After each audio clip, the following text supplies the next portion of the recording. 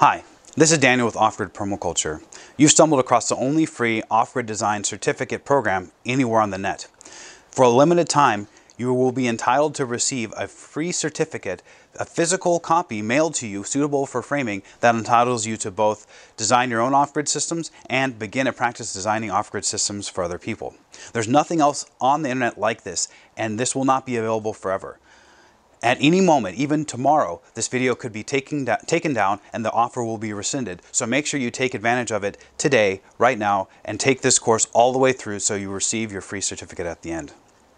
You know, it was more than six years ago now that I was, like everybody else, sitting in an office, commuting back and forth to work, thinking there has to be something more to life than this. Every day I'd read in the newspaper you know, the world is ending. There's so much political strife coming. And since then, it's just gotten worse and worse and worse. I don't think I need to explain to anybody what kind of situation we're in. Something has to change. And for me, sitting there, thinking about it, researching it, finally, I hit upon the one solution that made the most sense, and that is to be proactive. I knew at that moment I had to get off grid. Now, what exactly is off grid? We're going to go through that in depth in this course, but basically it's taking charge of your life, saying, I don't need to work for the man. I don't need to follow the rules of the HOA. I'm going to build a self sustainable lifestyle where I'm living to the fullest, having the best food possible because I'm growing it myself, living in a way that's more connected to the land, building my own home, taking charge of my own life. And it's been so rewarding, but it's been difficult. I've spent hundreds of hours. I've written over 200,000 words on this, documenting my research. I've spent you know, hours and hours in the library researching, watching YouTube videos, trying to get all the information together to make this a reality. You know, there's thousands of people doing it, but it's just not that well known. And there's tons of books out there, but which ones are the right books? You know, I've read all the books. I've looked at all the, you know, not all, but the majority of the YouTube videos out there that have any merit. And I've compiled together the minimum amount of information here that you need to get going right now. So in five modules with three very special guest teachers, I'm going to take you through the basics of what you need to know to get yourself off grid and help other people get off grid. So if this is the beginning of a profession for you, or it's just you and your family making a move to make your life better, get started with this today. So we've got a lot to cover, and I'm going to take you right into the first module where I will teach you what the basics of the off-grid lifestyle are, why we do it, as well as an introduction to off-grid electrical systems. So by the end of this hour, you will learn how to design and implement your own off-grid solar, wind, or hydropower system. So let's get started.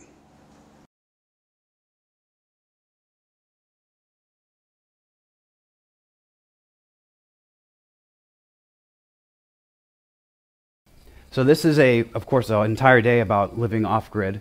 And so I'm going to start by saying a few words about what it actually means to be off-grid. And that's something that I think pulls a lot of weight with people. People hear off-grid and they're excited about it, but it's not something that has like a universal definition. So this is more um, what I think of off-grid and what kind of what we're hoping to promote here today. Um, the first thing is self-sufficiency and resiliency. And I'm going to get into these topics a lot more in depth, but the the issue that we have with our modern society is that everything is becoming increasingly centralized. Um, it doesn't seem like that because we're getting products shipped from China and we're getting our produce from Mexico, but really the, all these things are coming in through increasingly few channels in the United States.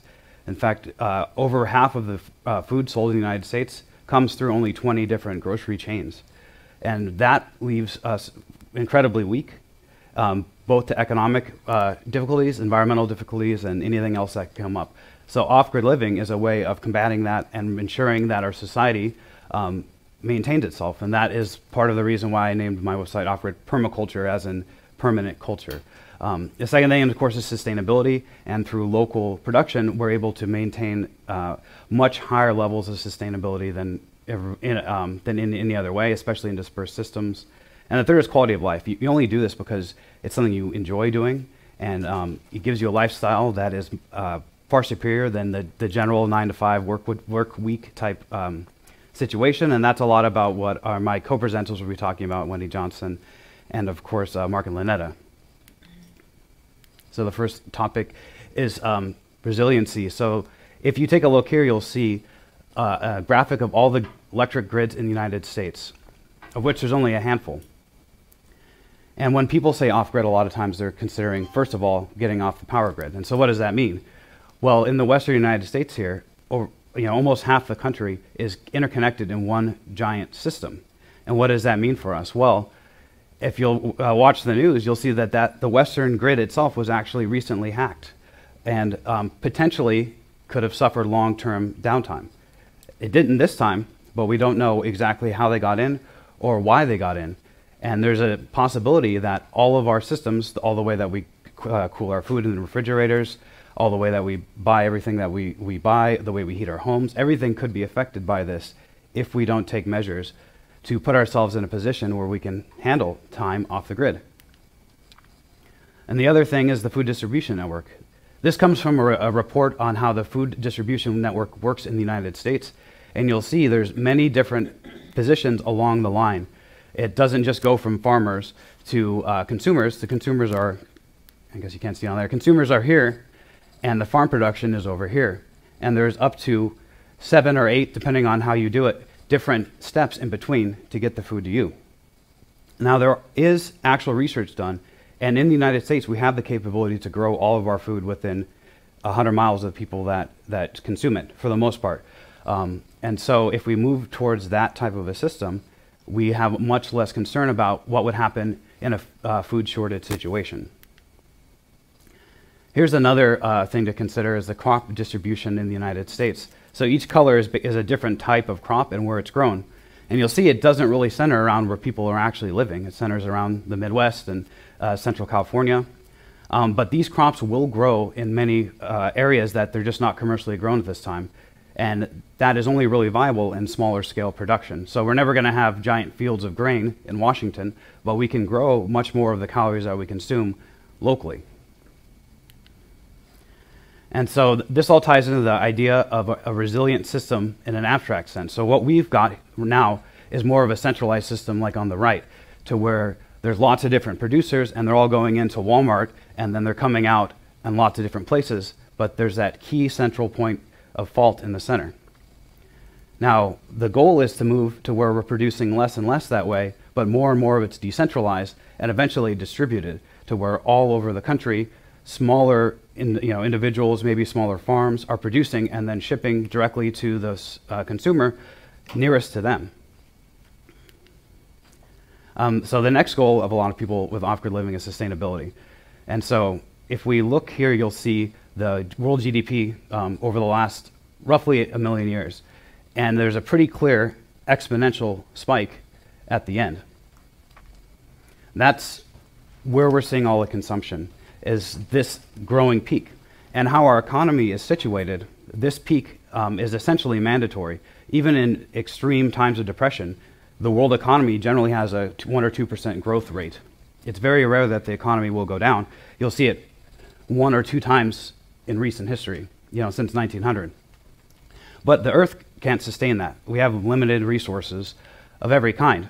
For instance, um, one big thing is, is uh, rare earth metal, excuse me, rare earth minerals, which are essential to almost every bit of technology that we use today. They're used in semiconductors, they're used in batteries, increasingly so as we go to green options. And uh, but the, the fact is, we're already starting to run out of new sources for these. I mean, they're, they're plentiful on the Earth's surface, but they're difficult to mine. And um, it's gonna, the more that we progress technologically, the more issues we're gonna have like this. And so the whole of the world's economy will need to transition to a method of production that allows for either stability or reduction depending on the circumstances. And the final one, the most important one really is, is quality of life. Um, if we look here, this is the amount of hours worked uh, per capita in various uh, Western and developed countries, and the US is second to only South Korea. We're even worse than Japan, who has a horrible record for people overworking themselves. Um, and it would be nice through alternate means to get away from the nine to five, from going to a job all the time, which not only is sapping our mentality and sapping our psychology, but it's sapping the world's resources to a way where we can be productive and have fulfilling lives, but more and more locally, you know, from our homes, homes from our homesteads. Um, yeah, so th this just follows in with that.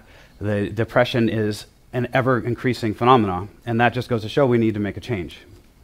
And I'm hoping that off grid is part of that change.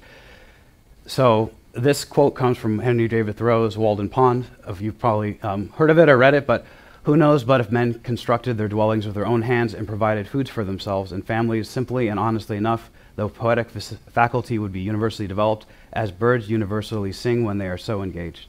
So the idea here is that what we do with our lives, how you know what our work is, how we apply ourselves constructively throughout the day, is a huge impact on who we are as people, like what our creativity is like, um, and how we enjoy our lives. And if we're able to start producing the things that we actually need to survive, you know, our food, our electricity, our heat, our clothes, potentially, um, more and more through ways that we enjoy, more and more sustainably as well, then we'll have a more fulfilling life. So why is it up to us to do this? You know, why are we in this room doing it? Why isn't, you know, the guys over at Tesla or SpaceX dealing with this problem? Well, probably because they can't. And uh, here's a short story about that. Of course, you probably recognize the Wright brothers on the left there and their famous flying machine, but on the right, you've probably never heard of Samuel Langley, even though in his day he was much more famous than them. He was actually an early um, flight pioneer. He was the president of the Smithsonian, um, and when he worked on his flight as a well known physicist, his uh, flight uh, uh, experiments here, he was well funded by the US government. And they, everybody thought in, around the world that this would be the man who would develop flight. And in fact, he was one of many. There was people in France, all over Europe, doing the same thing who were well-known scientists who had backings of governments trying to develop powered flight. And none of them succeeded. His flying machine never was able to even take off, and he had way better conditions than the Wright brothers did. What it took was two uh, machinists make, in a bicycle shop doing it on their spare time. That's the kind of people that, that make successful transitions. When it takes a big uh, mental leap to get somewhere, it has to come from the ground up. It never comes from the top down. And here's another example. These two men invented the internet as we know it. But everybody thought that it would not be those two. In fact, there was a large group all over Europe of telephone experts who were working for decades to develop inter an internet protocol, which would be the world's networking protocol. And after, um, I believe, almost a decade of going in, writing these proofs, developing the system, um, these two sat in their office. Uh, they worked for the, the government, but and they developed a system for the government that slowly became the internet that, that we know today. And it was just these two men instead of a committee of 100 experts. So why is it that we can't be the ones to do that here? It could be, you know, two people in this room or 10 people in this room or even 100, but people working on their own in their garages that develop the social technology as well as the actual technology to convert ourselves into a more off-grid and sustainable uh, way of living. So just to follow it up, you must be the change that you want to see in the world. Everybody's heard that, but I'm glad to see everybody here, uh, you know, doing a little bit to make that a reality. Okay, so before we get started with the actual um, low-cost off-grid energy systems, which I'm going to go through uh, as much as I can in the time that I have uh, allotted to me, I'm going to go a little bit into an introduction of just general electricity terms. I'm not sure what everybody's level is. Um, so this stuff is absolutely essential to know um, if you're going to be dealing with any type of wiring or electrical systems. And so I hope that you can indulge me a little bit. I won't go uh, too into the technical and educational depth of this. So um, the first thing to know is that energy always has to flow in a circle. So you've already seen that. There's the two wires. You connect your battery. It has two ends. Um, and so this is just a really simple diagram of that.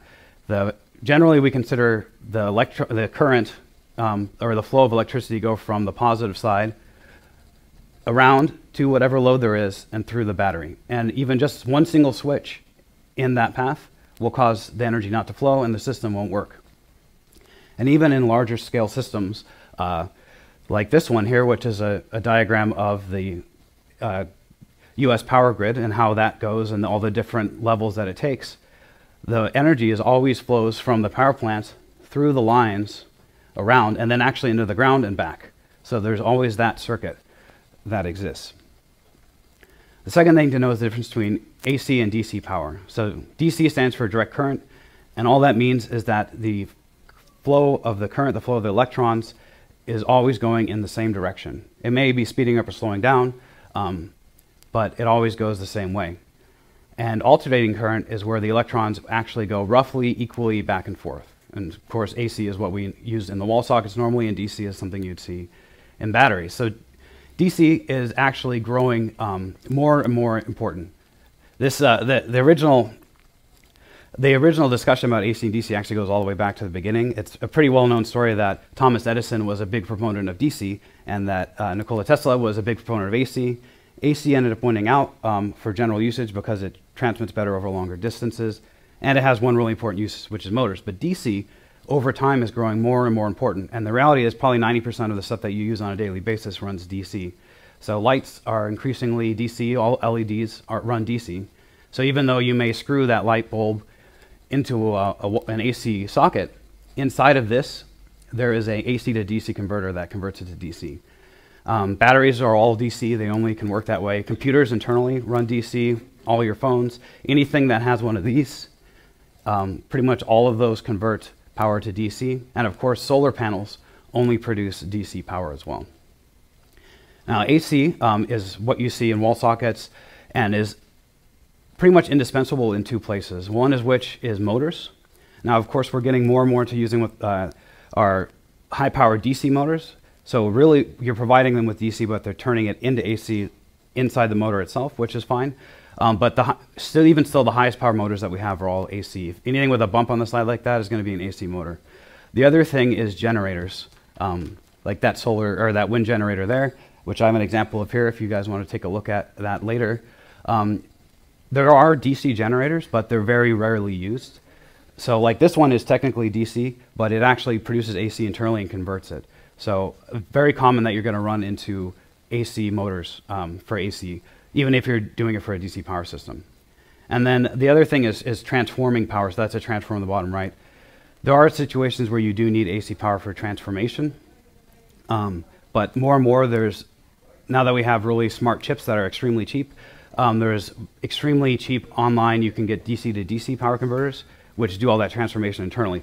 So the takeaway of this is more and more, we don't even need AC. We can just go straight to DC. Um, so the next concept is the idea of electrical potential or voltage. And the way I like to, to explain that to people is it's basically like water pressure. It's very similar mathematically, how it works. And it's more like the electrical field pressure, if you will, of, of the current. So generally as measured in volts, you'll see it on as a V on your um, multimeters. And um, one thing to realize is that AC voltage and DC voltage is measured differently. And so usually it's shown either with a straight line for, for DC and an alter, you know, up and down squiggly line for AC. And there's actually multiple ways to measure um, AC voltage. And the two most common are RMS, which is the one you see almost all the time, which is actually, you're only measuring part of the, the actual magnitude of it, but it's for mathematical reasons that's more convenient, or the, the peak value, or sometimes peak to peak. Um, but if you're ever reading an AC voltage off of the back of um, a piece of equipment or you're designing something, you need to know which one is which because if you mix them up, you will do it incorrectly. So here's a, a, an example of some common voltages you'll find in the wild. So about one and a half volts for a, you know, a smaller uh, battery. Five volts is the standard for USB. So all of your smart devices run off five volts, or at least take five volts in. Uh, 12 volt for so off, you know, solar batteries, car batteries, are, is extremely common. Um, 120 at the sockets, and then for larger appliances, 240. All right, the next concept is the idea of electrical current or amps. And amps is a lot like flow rate in a water system. So it's just how much charge is going through the wires. Um, and so here's an idea of what kind of amperages you'll see on a daily basis. So I actually should say 500 on the left. Uh, 500 milliamps is standard for USBs. A lot of in of your in-house uh, wall socket circuits were going to be around 20 amps, and then you can get to 30 or 50 for the larger appliances. All right, and so here's a concept that comes up later in how we wire um, the whole system as, as well as the solar panels. And uh, th this is um, very important to know. So on the left is the series connections. And the series connection is basically like a string of Christmas lights. So each thing is connected one tail goes to the next, to the next, to the next. And with a series connection, you're actually adding the voltages if you're doing um, adding a power source. So like when we're doing the solar panels, you're adding up the voltages, um, but the current stays the same. Now, the other possible way of doing this is with parallel connection to where both leads on each side are connected together. And so in that case, the voltage stays the same. Like you can see pretty well that you know, the voltage across here and here has to be the same because they're connected together. So the current, um, if you're talking about solar panels or something like that where you're generating power, you're adding the currents in that case. So series, you add the voltages. Parallel, you're adding the currents. So here's really what we're looking for with all this. Voltage and current are important for knowing how to set up your system, but really what you want is power, and that's measured in watts. So you may have also heard of the term horsepower, which is more common in motors or cars. And uh, this just shows what a horsepower is. So one second to lift 550 pounds one foot. Um, kind of a strange definition, but there it is. And that one horsepower is around 650 watts. So if you're looking to a lot of times you're going to see, like on the back of equipment, you'll see different ratings, and they'll say the voltage rating, the current rating, and or the watt rating. And so you need to know how to be able to go back and forth. And it's really simple. You multiply volts times amps, and you get watts. So you, need to be careful with that. They need to be in the same units. So sometimes you'll see things with a you know with a small m before, so milli, that's one thousandth of one. So you need to divide that by a thousand. Uh, later on, we'll see the kilo, kilo or kilo uh, with a K in front. That's 1,000 of those. So you'll need to multiply by 1,000 before you do this. And then, of course, you can use this equation to go, go other ways. So if you know the watts and you know the volts, and you need to get the amps, you can just divide um, watts by volts, and you get amps. So. So here's an idea of kind of the range of what we're looking at. So smaller devices, um, lamps, as we'll see, are about you know roughly tens of watts. Um, medium-sized appliances, computers, generally in hundreds of watts, unless you're a gamer. Um, and then larger appliances, generally in thousands of watts. So it's not uncommon for a space heater to be over a thousand watts. And then, you know, of course, large uh, stoves, even though that's a gas stove, uh, can, if it were electric, can get much higher than that. And then, so here's the money one, watts hours. So you're going to see this on your power bill. This is really what you're paying for with an electric system. And that's just multiplying the amount of watts that you're using by the time you're using it. So if you're using 100 watts but only for half an hour, you're billed for 50 watt hours. Um, and you'll also see very similarly related concept, which is amp hours on batteries. And so since batteries have a fixed voltage or pretty close to fixed, if you multiply it by that voltage, you get the watt hours. Okay, so now we're moving into the actual process. How do I know what I need to get? How big of a system do I need? Um, and how many solar panels do I need, which is usually the first question. But really, you don't want to go from that um, direction. It's much easier to go from what am I using, what power do I need, and then work your way back chain by chain until you get to the generators and the solar panels, um, which is what we'll do here. So the first thing you need to know is how much power are you using. Um, one easy way is to just go onto your power bill, and they will tell you that. Um, so here, I don't know, yeah, I don't have one uh, that looks like this. I grabbed off the internet, but hopefully this looks familiar to everybody. So this actually just shows you per month what your average kilowatt hours is per day. So you need to multiply that by a 1,000. And this graph is really great because it shows you the seasonal variability of what you're actually using. So that's something you definitely need to take account with a solar or any off-grid system because almost all of them vary what they're able to produce throughout the season. So if you use the most in the winter, and you probably also produce the least in the winter, so you'll need to size up your system for that. Um, now, one downside of this is, as we'll talk about a lot more later, you're probably going to want to invest some money into decreasing your power usage as well. Um, so just going from what you're, if you're living in a traditional home, going from what you're using there to an off-grid situation is probably not the best way. And so if money were no object, no problem. Just just take the biggest number off there and size it for that, and then you're good to go. But this is low cost off grid, so I'm going to talk a lot later about options that you can use um, to decrease what you're spending. So the other way is to do it piecemeal, and that's actually measure what you're using. And the best thing I found for this is this little Kill A Watt device, which I, I have one over there. And what that actually allows you to do is plug it in the wall and test directly not only what you're using at the time, but you can leave it in for a couple days and it'll tell you how long you've been using it, so how long it's been plugged in, and how many kilowatt hours you've used. So it does all the multiplication and everything for you. So you can read it right off of there. And uh, it's good to do that with a bunch of different appliances that you plan to use. And you can find, okay, which, what am I spending the most money on? Theoretically, you know, what's using the most power? And what can I do to decrease what I'm actually using? Now, I forgot to mention in the beginning, if anybody has any questions or wants to bring up something while I'm talking, feel free for that. Yeah. Go I ahead. assume that's a single plug measure, so it's, it's not plugged into the system and measuring the entire system, right? That's right. Yeah, it's only what's going through that particular plug. Um, yeah, the other option. So if you're if you're, I'm going to talk a little bit about running a DC system later too. And if you're considering running a DC system or you've got DC appliances, I haven't found anything great for that. This only works on AC. Um, so the best thing to do is actually get some multimeters and just test them that way. There's no real nice way of logging it yet, but I'm, I'm actually working on something for that, um, which we'll get into later. So the idea here is when, you go through all of those different things, so let's say you're running a desk lamp or fridge, whatever, I just put some numbers in um, here.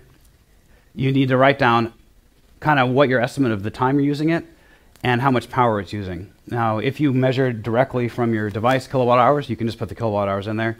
But it's good to think about, you know, for instance, in a desk lamp, I use it way more in the winter than I do in the summer because it's brighter in the summer. Or a fridge will run much more in the summer than it will in the winter. Um, and so I like to actually choose the, you know, the darkest part of winter and the lightest part of summer and estimate based on that and get two numbers like here. So estimating here, I'm thinking I'm going to use around 400 watt hours a day in the summer. You know, for this small example, that's a lot less than you probably would in a real house. Or, you know, 436 in the winter.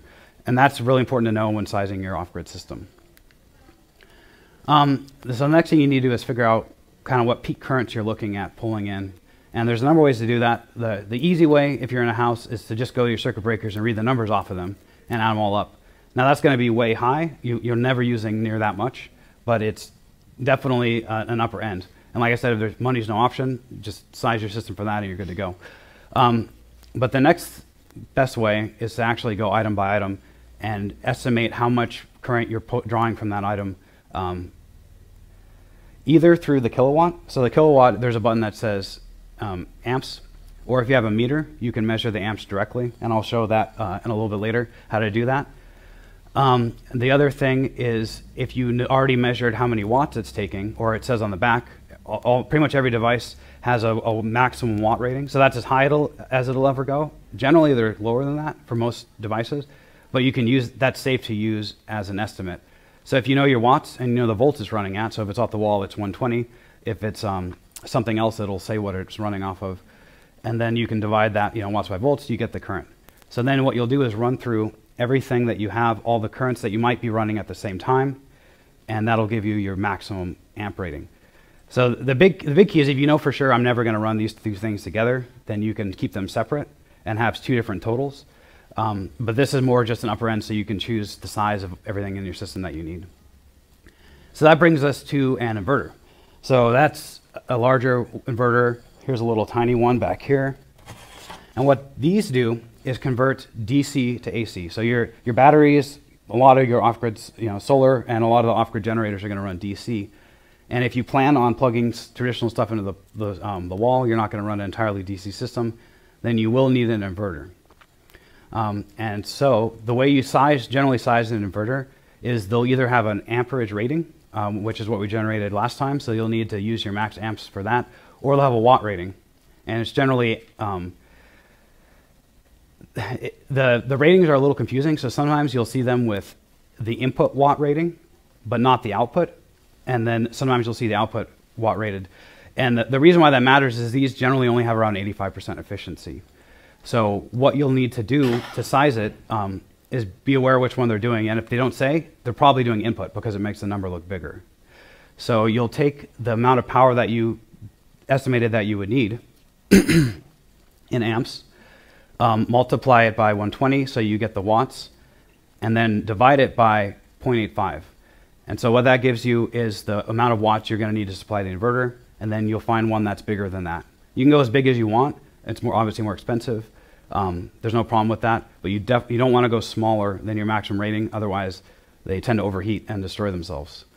Um, another thing to watch out for when buying these is continuous versus max power. Sometimes they'll give you a max power rating, but isn't continuous. And what that means is you can run it for this that at that wattage for a very short period of time. Um, there's times when you might use that, but for most home systems that isn't common. So you want to make sure that you look for the continuous power rating. Otherwise, uh, you may have bought a smaller inverter than you need or thought you were getting. Um, the other thing is to look for a modified sine wave versus pure sine wave. And what that means is if we remember that diagram before of the smooth up and down curve, modified you're going to get a lot of jaggies, which is essentially high frequency noise. And um, those are cheaper, but they can be pretty hard on a lot of equipment. Certain motors don't like them at all. Um, sensitive electronics, it can actually damage them depending on what kind of filtering you have. So um, unless you know for sure that you can do modified, you need to go up to the more expensive pure sine wave inverters. The next thing that people are interested in, of course, is the battery bank. This is probably going to be one of the larger expenses in the system. And it's one that you have a little bit of flexibility with. So um, it's a little difficult to just give an equation for this because there's so much variability. You know, we might have a dark week here, um, say, where you're producing much less power than normal. And so the question is, how much money do you have? How much, how essential is it that you have power for the, the whole time? Um, and you can size these independently of, of the panels. So the, the, obviously, the more batteries, the longer it lasts. And the way to do that is to, to find your daily usage from the first step of this and multiply that by the days of storage that you're looking for. And I generally recommend at least a couple days, um, unless you have a really consistent power source, like you're running off-grid micro hydro, and you know that your stream is good to go. In which case, you could maybe size it down to even less than a day. But around here with solar, um, you're probably going to need a couple days or, or more. Um, now, the other thing to look for is you need to multiply it by the battery discharge rate. So on batteries, they actually give a capacity in kilowatt hours frequently, sometimes amp hours, or, um, or just watt hours. But if you're buying a lead acid battery, or uh, depending on the type, they have different max allowable discharge rates. So a typical car battery type battery, lead acid battery like that, you cannot discharge it more than 50%, otherwise you're risking extreme damage to the battery. And a lot of general car batteries, actually, even more than 30%, um, can damage it, which is why you need a deep cycle one. So that needs to be taken into account when you're doing the equations, as well as the efficiency. And generally, it's kind of rough um, because it changes depending on how it's charged. Um, so near the top of a charging cycle, you don't get as much efficiency as you do near the bottom. So as a rough estimate, about 80% efficiency or point divided by 0.8, and that gives you the capacity that you need for your battery bank. So a little bit, a uh, little bit there. I plan on anybody that signed in, by the way, with your email. after this, a couple days, I'm going to put some uh, shorthand together for all this and um, send it out. So if this, if you're a little confused about anything that I said, you'll be able to look at that. And of course, we've got this online. As I, I think some people came late, so they didn't hear that. But we're streaming this online as well as putting a recording of it up, so you can check this out later if you need to go back over anything. Um, so before I go on, one suggestion I have is it's kind of nice to have several smaller solar systems. Um, it's not always cheaper, but it's a nice way to get into it, especially if you're trying to transition piece by piece. And it gives you the ability to specify like a, an absolutely essential system and a kind of nice to have one. So if you're running your, your entertainment stuff and maybe some lights that aren't that important, you can run that off one system. And then you, things like your refrigerator or you know maybe cell phone charging stuff that you, you feel like you absolutely need to have that could be off of another one and that way you know for sure the one that you absolutely have to have will have plenty of power and then the one that's nice to have you can use up you know as you see fit so this is one of the things i'm actually most excited about is is the upcoming battery technology and so i put some examples here on the top two are lead acid so there's the sealed lead acid the cheapest one um, or sorry, sealed is the more expensive one. Floating lead acid is the, the cheapest, or flooded lead acid. And then there's lithium batteries, which you see more commonly used in things, um, you know, high-end electronics. It's being used in certain electric vehicles. And then on the bottom is uh, nickel iron, which is actually the oldest type on here. This was, some people say it was invented by Edison and wasn't actually, he stole it from somebody, but he made a factory that produces them. Um, and so they're commonly called Edison batteries. And uh, they haven't been produced, mass produced uh, by major companies since the 60s. But there's examples of these batteries being used in the railroad industry for decades. And so these batteries have an amazingly long life. And so I did a few of the calculations here to kind of show what the costs look like. So the cheapest is flooded acid um, just to get into it. But the thing is they have a relatively short life and they take maintenance to, to keep going. So that's what you're paying for. But they're around $240 per kilowatt hour depending on where you get the source. Now, iron or the iron, sometimes called iron Edison, uh, nickel iron batteries are right now more expensive because there's not many people producing them. But with some of the lifespan that they've shown in history, they since they last decades and their their um, their maintenance plan actually you only even need to touch them once every five to ten years, depending on how you're doing it. So uh, according to the manufacturers now, uh, that's pretty good return on your value. So you're getting roughly you know less than ten dollars per kilowatt hour per cycle, thousand cycles, which is by far the cheapest, even at their higher price point. And one, uh, so here's an example of some being. There's only one major company that I know of that's producing them. They're IronEdison.com, and they only sell in relatively large banks, so you can't just get one of those. Um, but they're simple in construction, and they don't take any special materials. The electrolyte inside, so the, the liquid, is not an acid. It's a very mild base, and uh, the plates are just nickel and iron. So these are things that people could get locally, and there's a possibility of people actually doing this yourself. So that's one thing that I'm currently researching at ways to make this extremely low cost by either doing it yourself or maybe um, selling kits to where people can do a lot of the work themselves. Yes? What are the um, indicators of maximum? Is that fluid level? Yes. And so you, and it, what is the fluid? Um, I forget, it's, it's distilled water, and then you need, um, uh, I forget what the exact um, base is, but it's, act, it's something that you can locally get. Um, I, am just blanking on it right now. But yeah, so it's, it's a mild base essentially, which is good. That's why these last so long, because the reason why the, the uh, lead acid batteries don't last long is every time you discharge it, you're allowing the acid to eat away the lead inside. You're eating away the electrodes. But with these, the, the water doesn't hurt the electrodes. And there's some talk online, I haven't been able to do it myself yet, about how these kind of fail is they actually kind of get crud on them after you know decades of use.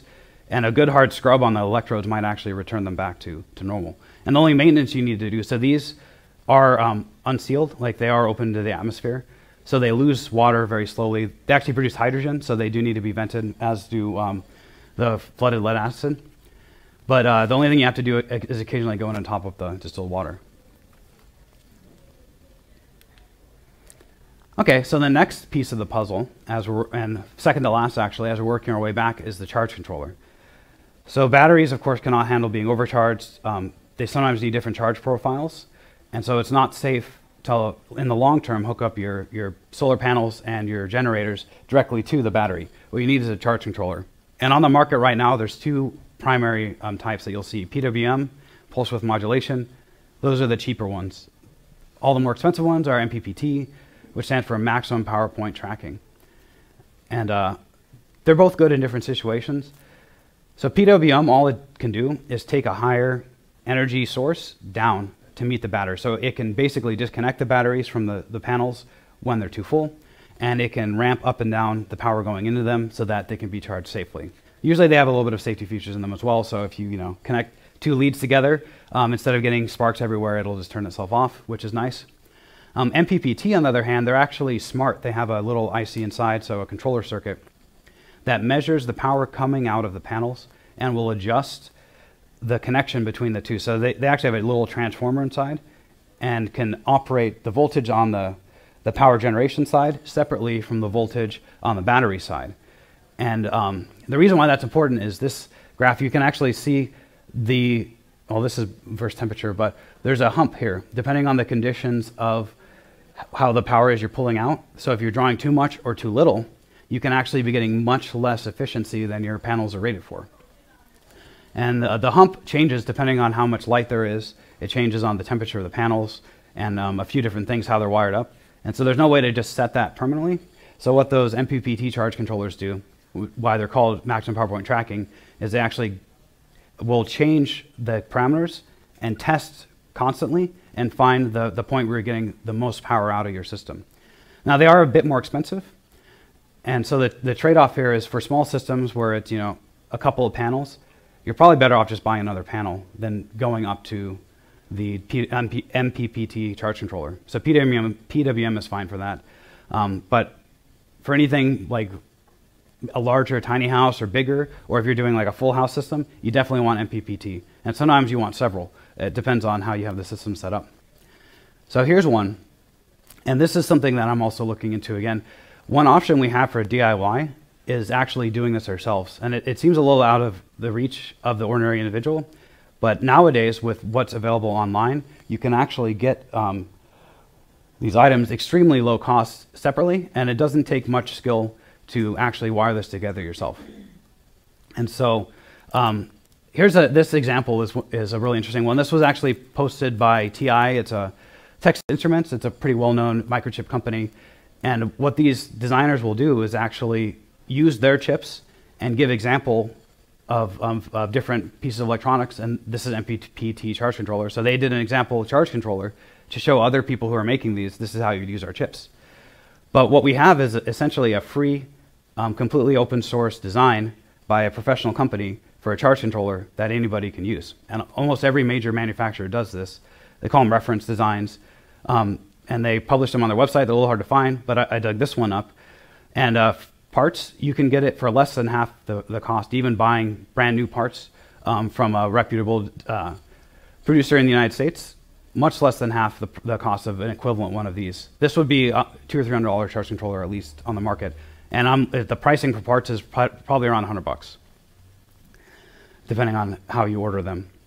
So as a community, I'd like to see more of this kind of stuff going up. And I'm actually working on a, a modified design of this, which I'm going to put on my website, opensourcepermaculture.com, to where this is something anybody can make and it'll be modular. So maybe in the future, people will be making these and selling them for low cost, you know, direct from China or something, to where you have a main controller board. And then as you want to add power, instead of having to throw away or, you know, sell your charge controller and get a new one, which is what you have to do now, you'd be able to stick in a few more boards and upgrade your, your power system. Another nice thing about these is the components when you buy them, if you make it yourself, is the component grade is way higher than you'd get pretty much anywhere else. Everybody else scrimps on key things like the capacitors and different um, MOSFETs. And because of that, you can get, with this design, 98% efficiency. Okay, so the, the final bit here is power generation. How many solar panels do I need? Usually the first question. Um, and so for this, you need to figure out how much total you need to generate. And so I, I, generally do this on a daily. So you, you take your daily power requirement. If you're using an inverter, you need to divide it by the inverter's efficiency. Um, if you're doing it with a battery, you need to, you know, it, depending on how much you, you, plan on using a battery, you'll need to divide it by the battery efficiency. Um, and then you need to divide it by the controller's efficiency as well. So if you get a high-end controller, it could be 98%. You basically can almost ignore that. If you get a lower quality one, like a cheap one, uh, MPPT one, those can be as low as 80 depending on how they're being used. And then the next step is to know how much sun you're getting. So this is a map that the US government provides, and uh, there's a link to that website there. They have a lot more in-depth maps, including ones of just specific states. Um, but so this number kilowatt hours meters squared per day. It's basically a multiple for the solar panel rating. So say uh, that panel is a 30 watt panel. It's pretty common to get 100 watt panels or you know 200 watt panels. They're rated at what the maximum they can produce, um, assuming really bright sun. So what this is telling us is that around here we're getting you know between three and four as a multiple. So if you multiply that by 100, on average per day you're going to get around three to 400 watts for a 100 watt panel. Now, of course, in the winter, it's probably much worse than that. And in the summer, it could be better. Um, but that's a, a, decent starting point for getting started. And they do have different months as well available. So if you were really into designing it, you could go into the winter, get a winter month map of this, and estimate it that way, and then get a summer month map. Yeah, so I pretty much already talked about this, but it's best if you calculate in the middle of winter and summer. Um, and another thing you can do is get a, an inexpensive panel like this and actually measure it, how much it's producing at different times. And uh, I'll try to get the end here so that we can do a quick demo on that. But really, it's it's so different depending on your location, even you know from neighborhood to neighborhood sometimes, depending on what kind of particulates are in the air near you and what kind of fog you get. That measurement is always the best thing. Um, so a quick word about placement. Solar panels actually degrade much more quickly if they get hot. Now, they're, unfortunately, they're black, so that you can't really prevent that. But anything you can do to keep them cool is extremely important for their lifetime. Um, and it can make the difference between getting an extra five to 10 years out of them or not. Um, and then also they need to be clean, as, as you might expect. And snow loading is one of the worst things. Um, looking at the historical data about how long solar panels last, places that get heavy snow, they last much, much um, less uh, time, yes? So that's counterintuitive. How do you keep a solar panel cool? Yeah, good question. Um, the big thing is you don't mount them directly against something else. So if you look at any of the mounting kits you get for a roof or something, they always have an air gap um, the other way is like I sh show here, don't put them, if you can, if you have room, it's much better not to put them on a roof because the roofs tend to get hot by themselves. So if you put them in a place where they get airflow and they have room all around them and space between them, that's basically the best you can get. Some people have looked into doing like water cooling systems. Uh, so far, it looks like that's not worth the effort, really. Um, but letting them have airflow is 100% essential. Um, the other thing about placing them away from the house is shading. And uh, as I'll talk about later, shading a house is a great way to save energy if you're if you're cooling in the in the summer, especially in hot locations. But solar panels are not good with shade. Even a little bit of partial shade on one part of the panel can have a you know can 20 30 percent or more um, decrease in power generation. So anything you can do to get them to where they have full sun as much of the day is is very important, as well as angle. Uh, the the power they can produce, the maximum power they're rated at is rated at being pointed directly at the sun. Um, but of course, the sun goes up and down throughout the day. There are tracking systems, but those are a little probably not worth it. But it is worth it throughout the year to go out every couple months and tilt them to be roughly where the sun is at the highest that part of the year. Especially because in the winter you, is when you get the least power. And a lot of times, if you go online and you look up what the, the perfect angle is, they do have a chart. But that perfect angle is to get the maximum power throughout the year without moving them, which is fine if you're selling it back to the grid. But if you're not and you need a lot of power in the winter, instead of buying a bunch more panels, you may be able to just tilt them down um, or change it throughout the year. Okay, and then so bringing back the parallel and series discussion, how do I know how to power them up? And uh, this, there's a lot of in-depth stuff here, and I'm actually going a lot more into it on the website. Um, I don't really have time here for this, but essentially you add voltage when you put them in series, but you make them more susceptible to shading power loss. Um, but the, uh, the good thing about adding voltage is you're, you're not adding amps, and amps is what you need to pay for when you're buying wiring. And wiring is, can be a, a, significant cost of the system. Copper, copper cable, especially thick, is not cheap. And because you're doing lower voltages than standard, you're going to need much thicker wire than typical wiring you'll see in the house. So just a quick talk on micro hydro here. It's probably pretty good in this area. You do need uh, water usage rights in Washington, is my understanding, as well as pretty much anywhere on the West Coast. And I'm not, I haven't seen anybody get those. It may be possible, um, but of course, if you're if you're uh, comfortable doing something that you know shouldn't be seen from the general public, then it's still a possibility. Um, it, it's limited by your stream access, so you need to know the flow rate of your stream and the head of your stream, which I'll go into in de detail, and then you can multiply that by that factor, and it gives you the, the maximum possible wattage you can get from that stream.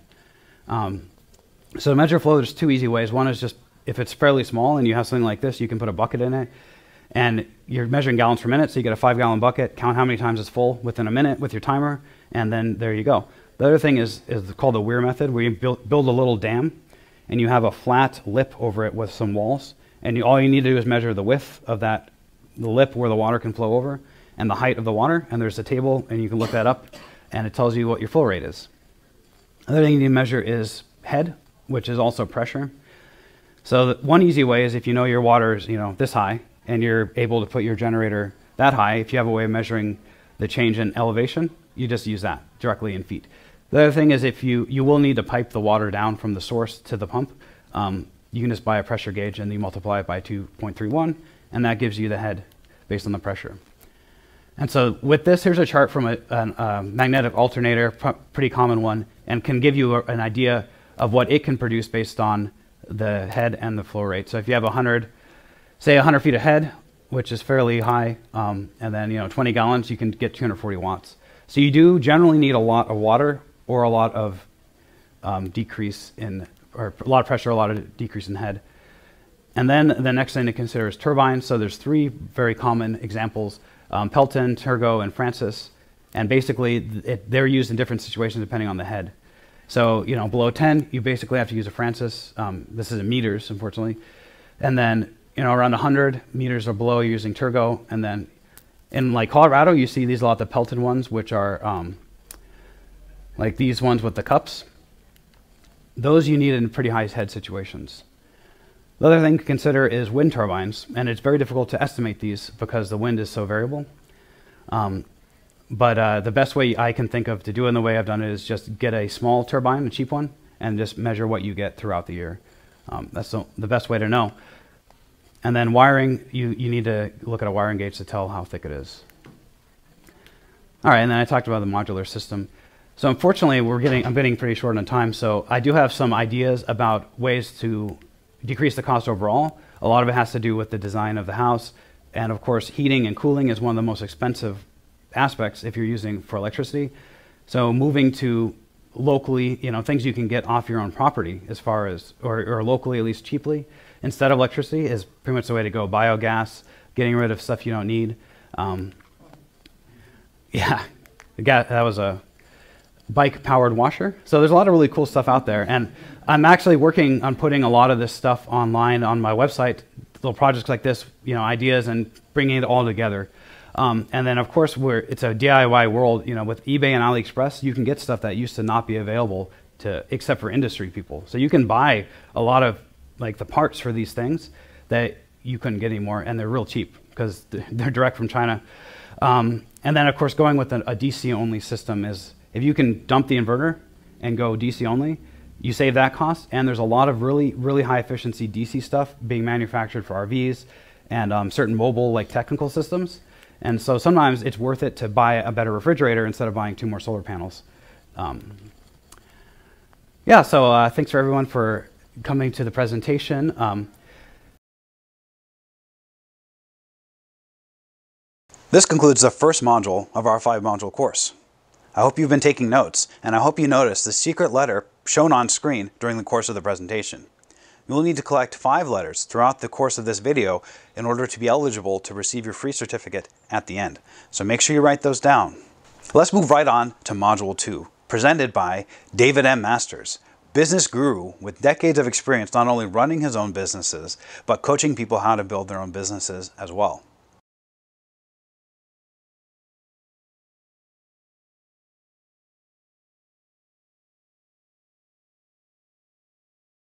So we're going to talk about my one of my favorite topics, which is like making money.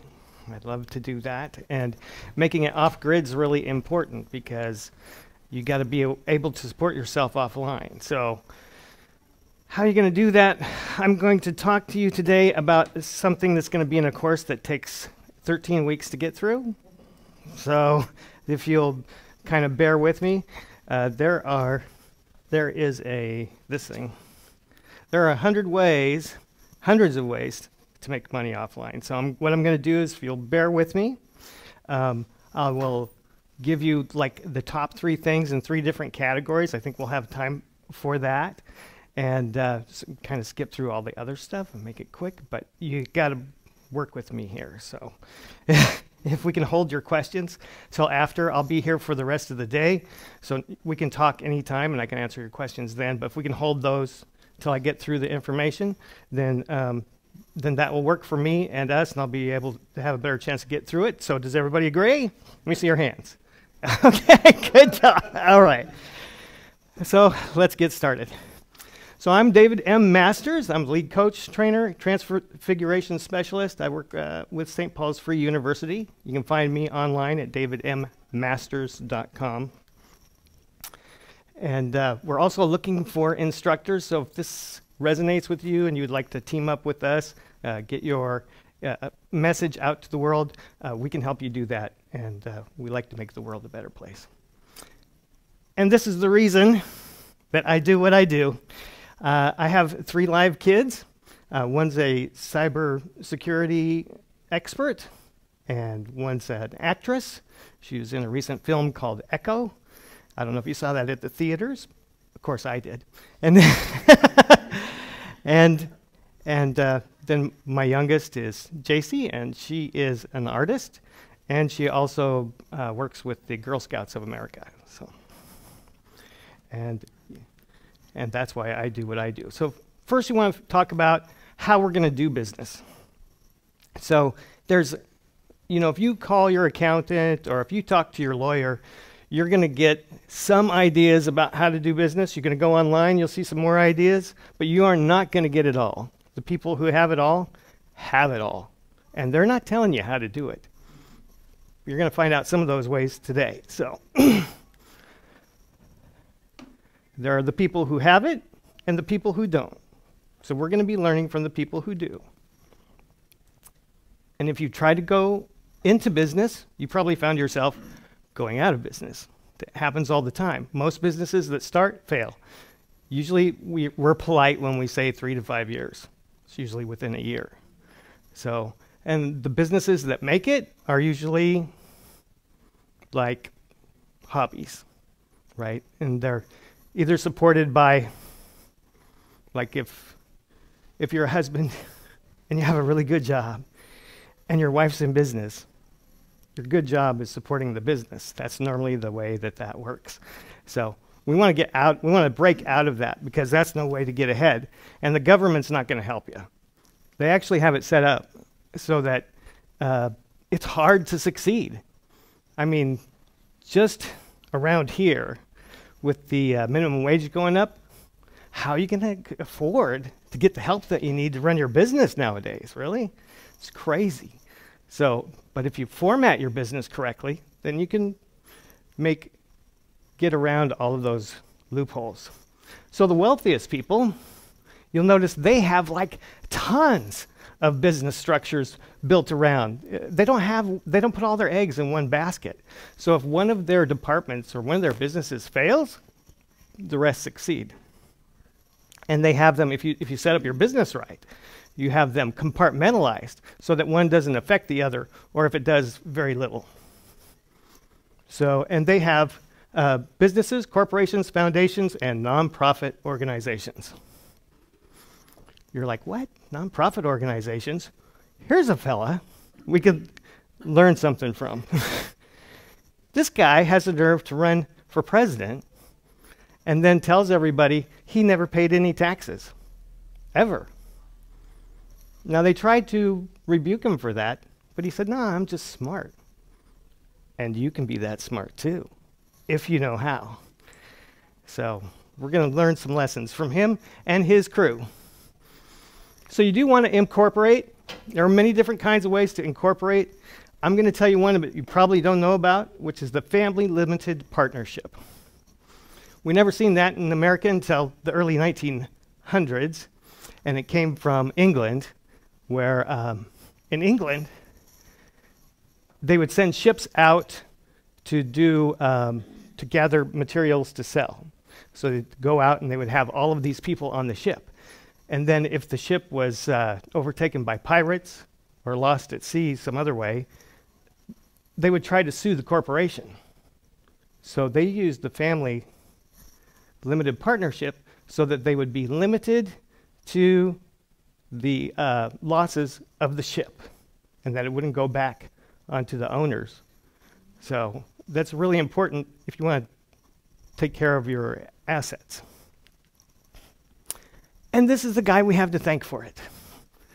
So, Weyerhaeuser is a name that we all recognize around here, the Pacific Northwest. And in the 1900s, he was like the number eight uh, employer in the world.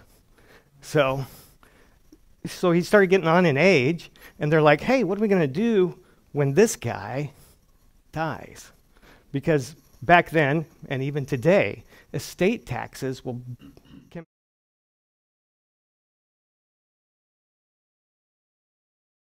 That, so that is why they came up with the uh, family limited partnership. So that uh, they brought that over from England. For him, he was the first one in America who had it to protect his business so that thousands of people wouldn't be without jobs well, he was uh, had passed away. So, so and of course that's successful, and that, and we know about that today. So there's some advantages of the FLP.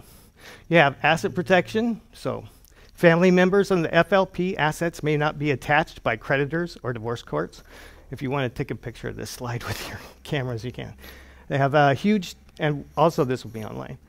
Uh, huge tax benefits to increase the value of assets uh, within the FLP remains inside the FLP free from taxation. So what normally happens in estate taxes is if your um, the growth and the value of your business gets attached to your estate taxes, this instead stays inside the FLP, which lives on, so that you so you're not penalized for the growth of, of what you put into your FLP.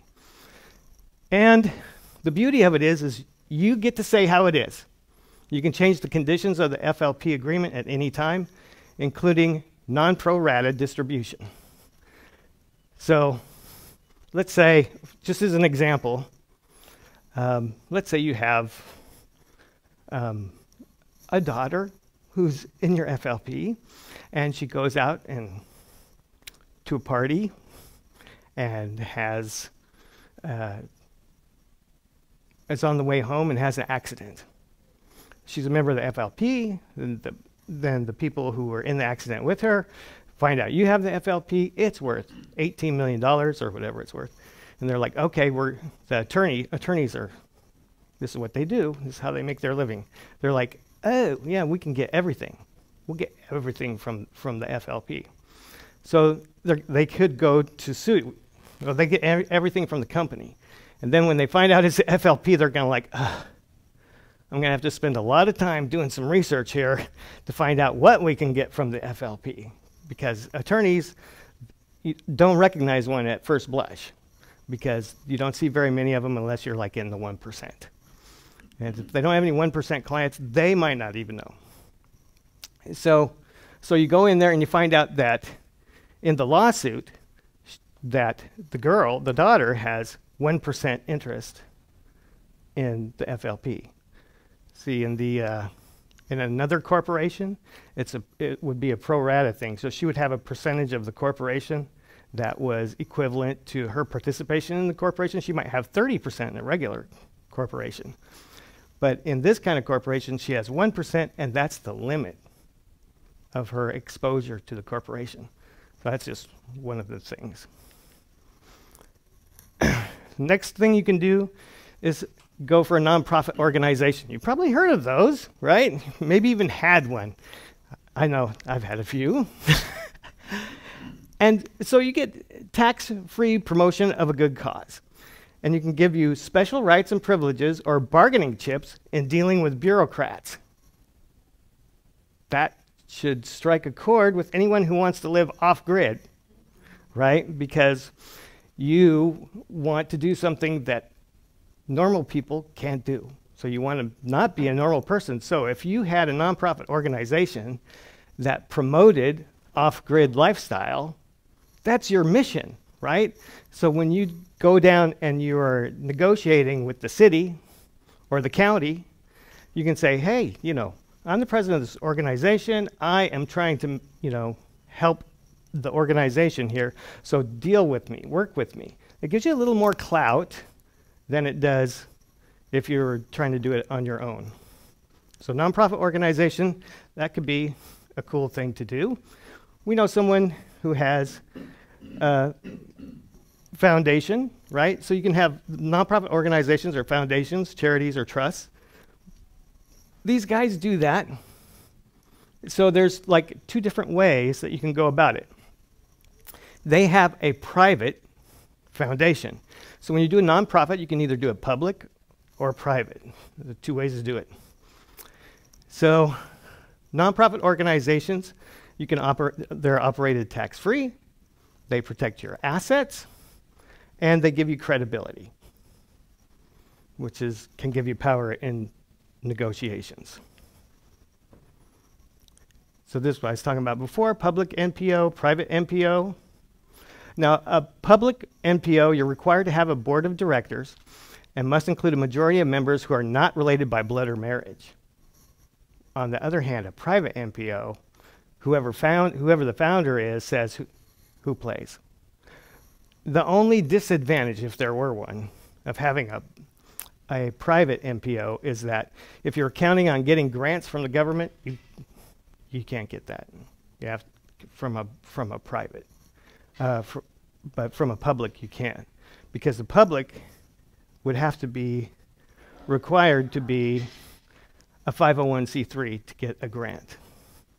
You could also have a religious organization. I got to tell you, this one's my favorite. Because there's that separation of church and state thing. I know a lot of people doing really powerful things that are doing this. So it's something you might want to think about. Now, the authorities deal with churches in two different ways. I don't know if you've noticed this, but if you're watching the news, you'll find that in some situations, if there's something going on inside the church that's, that could be illegal or if they're after somebody, in some situations, they just run right straight into the church and they tackle whoever it is they're after. That's one way of doing it. And the other way of doing it is they stand out in the street and they negotiate with the priest.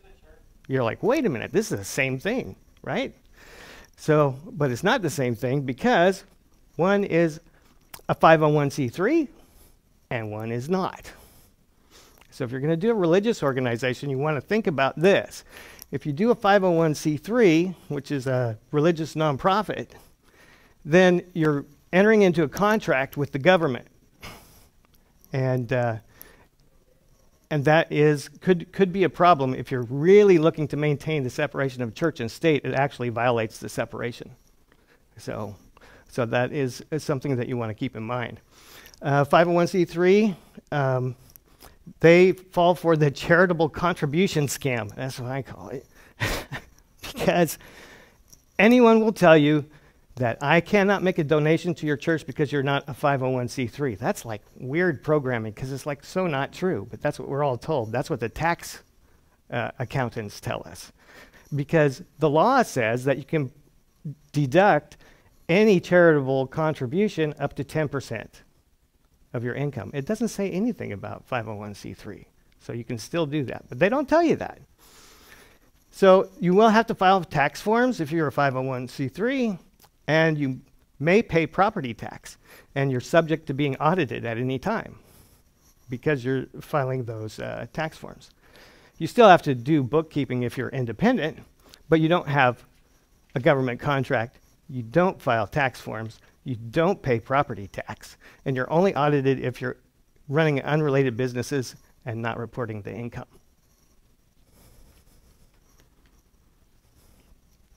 And your church could be about anything. This is like a really weird example. this is the church of the subgenius right here. Tired of trying to justify your sins? Let Bob justify them for you. really? But this is a long standing church, and they've passed all of the tests of time, and, and they're, it's for real. You can look it up online. You can join if you want. You'd be surprised. They have some they have some great things like 24-hour marriage certificates. you, I mean, it's it's a wonderful thing, but it shows you that uh, you could create a religious organization and have anything as your basis. It could be, you know, if you're if you have hydropower, you could just, you know have Church of the Reigning Heavens dot com. Somebody buy that. the, this is why you want to have uh, be careful about the way that you do business because you want to cover your assets and you want to do it in a way where you can have some freedom. So, but you want to be careful that when you're being free, that you're not breaking the law. No matter how you do it, there's not going to be a really good way to prevent you from going behind bars, and we don't want anybody to do that. So, but, you, but if you're smart, you can do all the things that you want to do, that you love to do, without fear of prosecution, if you do it right. Ah, cash flow. I love cash flow. Okay, and that's what you're going to need to feed your family, right? I mean, you can, if you're living off grid and you're on, on a farm, you can trade squash, you can and farm fresh eggs. That'll get you so far, but that's not going to pay, pay your mortgage payment. It's, it's not going to get you out of working for the man. So we want to try to get you off out of that system and into a different system. So, as the author of the home based businesses and emergency cash flow, I could talk about this subject for days, hours, months. I love it. I love it. So, so I'm, we're first going to take a look at online. Now, re- there's two ways to do business online and offline. And so the reason I say online is because it's really cool, but some off grid people don't want anything to do with, with online. So, and if that's true, just bear with me through this part, and then we'll, we'll catch you up in the next part. Okay, affiliate marketing is like a really cool thing that you can do online to make some money. So, I don't know if you've noticed that uh, affiliate marketing is such a cool thing, but what it is is there there are businesses that will pay you for referring their products to people that you know, and then when they buy a product, you receive a commission on that product. So, and the three biggest ones, we'll talk about them. The three biggest ones um, are Amazon, eBay, and ClickBank. Now, you probably didn't even know about eBay. You, you probably heard about Amazon because they're the biggest, right? But eBay you probably didn't know about. And ClickBank, I'll tell you about that in a minute. So, uh, Amazon, their referral program is uh, pays like 4%, I think, and they have different price levels for different kinds of items. So you share them to your people, and if people buy them, like I hope that Daniel does that for his off-grid permaculture, like this system right here, you could go on his site and he would say, buy this. You buy this from Amazon. Let's say that kit costs $71. And it doesn't matter whether you buy it through his link or anyone else's link, but he's going to get 4% because you bought it through his link. And that's how he supports his ministry or, or organization. So that's, it's a beautiful thing. So you don't pay any more, but he gets a kickback. And any, anyone in this room can do that. There's a, if you go to Amazon, you go to the bottom of the page, it says Amazon affiliates. You click on that, fill out a form, They'll give you a link, a custom link for anything you can find on their website. And then you can share that with your people. They even have a generic link that just goes to their website. If you say, you know, support our organization by buying through Amazon through this link, no matter what they buy, you're going to get a piece of the action. Do I do that? I do that. Have I been paid for diapers? Yeah. It's crazy. anything they, like if they click on a link, anything else they put in their cart, you get paid on that. So it's pretty cool.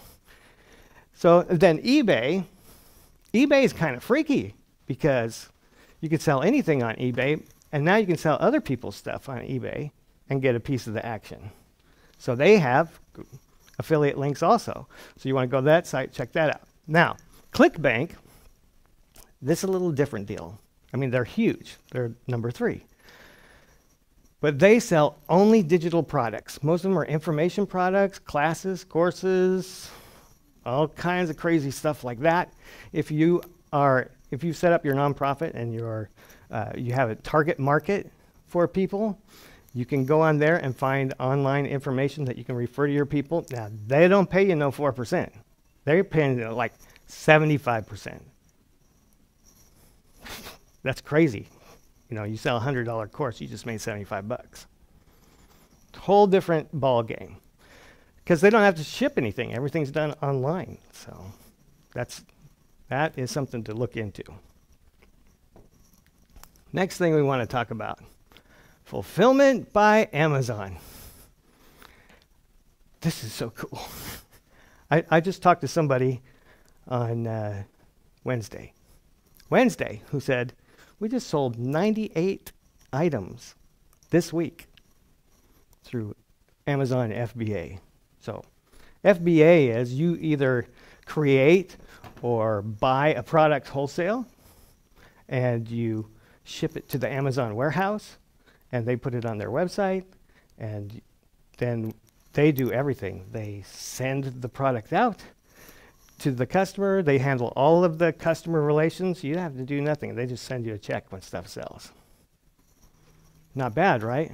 And so that was, I didn't plan that on Wednesday hearing that to be able to share that with you. But another client on Thursday says this. Oh, this is a great story. says, wow, this is really great. I bought this generator from Amazon. Oh, no, no, from eBay. Bought it, and it came uh, this is actually, I got ahead of myself. Stop that! I'm going to share that story in a minute. That's a different a- Amazon program I'm going to tell you about. But fulfillment by Amazon, you can do it with any product. Um, I have some books that are in that program, and I have another uh, uh, about 200 other items in there that uh, I do fulfillment by Amazon. So uh, save questions for after. Keep that though. Write it down. Write it down, and we'll we'll do questions later because I've got a lot of stuff to get through. Okay, so this was the one I wanted to save the next story for. Is that there's a thing called uh, Amazon to eBay arbitrage. This is going to blow your mind. So get ready. So make sure your feet are firmly on the planted on the ground. This is going to freak you out a little bit. You're going to need three things to make this happen. You're going to need an Amazon account, a PayPal account, and an eBay account. so what you do is that you find something. You have a. By the way, you're going to need an uh, Amazon Prime account to do this best. So it's. I don't know what they charge for Prime now. It's like 20 bucks a month or something like that but you get the free shipping off, uh, uh, option. So what you do is you find what you'd like to sell on eBay on Amazon. So you find it for, so you find it, oh, I can get this book by David M. Masters on, on Amazon.com with Prime, free shipping, for 10 bucks. And I can send it, sell it on eBay for 20 with free shipping.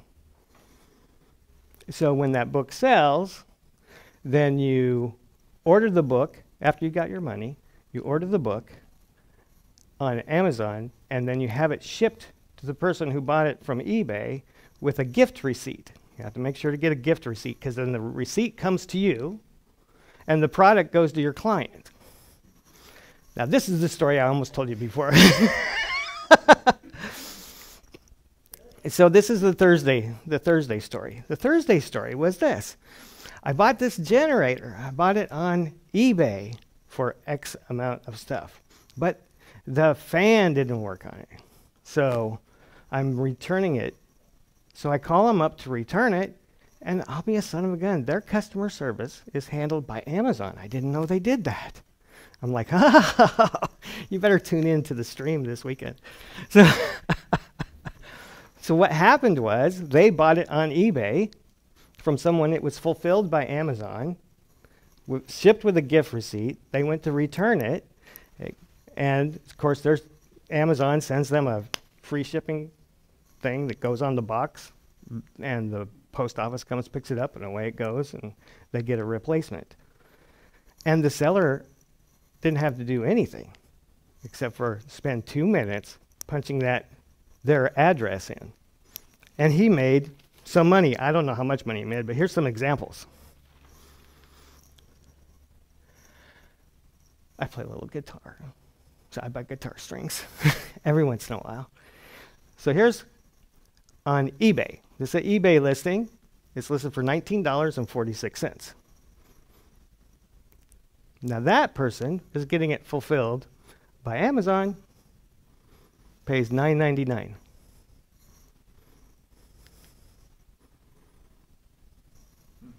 You made nine dollars and forty seven cents for two minutes typing in someone's address, gift receipt. Here's an end table looking thing. On eBay, thirty-eight twenty-five. Oh, look at it. Prime, fifteen seventy-two. You just made $22.53. You did nothing. Well, you type in a form. I like to look pretty. so I'm going to need some nice makeup brushes so I can get this whole set for 40 bucks. And by the way, this is just, this is like last night. So this is like really, really current. This is not like in the can somewhere. These are all real right now. $9.99. That's a good return on your money when you didn't even spend any and you made 30 bucks. And then there here's a camera lens, $139.99. Fulfilled by Amazon for $88.99. You made $51 on that one. And it's like size doesn't matter. How about a bunk bed? I, really? $326.32? Like right now, today, you get that? $180.99 free delivery on Prime. Not bad. Why didn't go to eBay? well, that's the thing. That's what you you're a bargain shopper. There are so many people like the, my clients on Thursday, right? They don't care. They just want it now. They have a PayPal account. They have eBay. They go in there like, bam, I need this generator. There it is. They're not going to spend four hours like you will shopping around all the different places looking for the best deal. I'm sorry I answered the question. so it's all about these guys. And you want to make sure that you have them in your pocket. If you do this program, make sure this is in your pocket before you ship it because there are some like evil scammers out there who buy credit cards and, uh, and, and checks off the dark web and use them to buy stuff. So make sure that you've confirmed with your bank that you have the funds before you ship. That's the important piece of this piece because you don't want to get ripped off. Okay, ah, now we can go offline. that was online, so those three things. Uh, now to go offline, this is uh, going to be some really important stuff. You want to, I'm all about helping people achieve their highest and best. This has like been my ministry since 19, long time ago.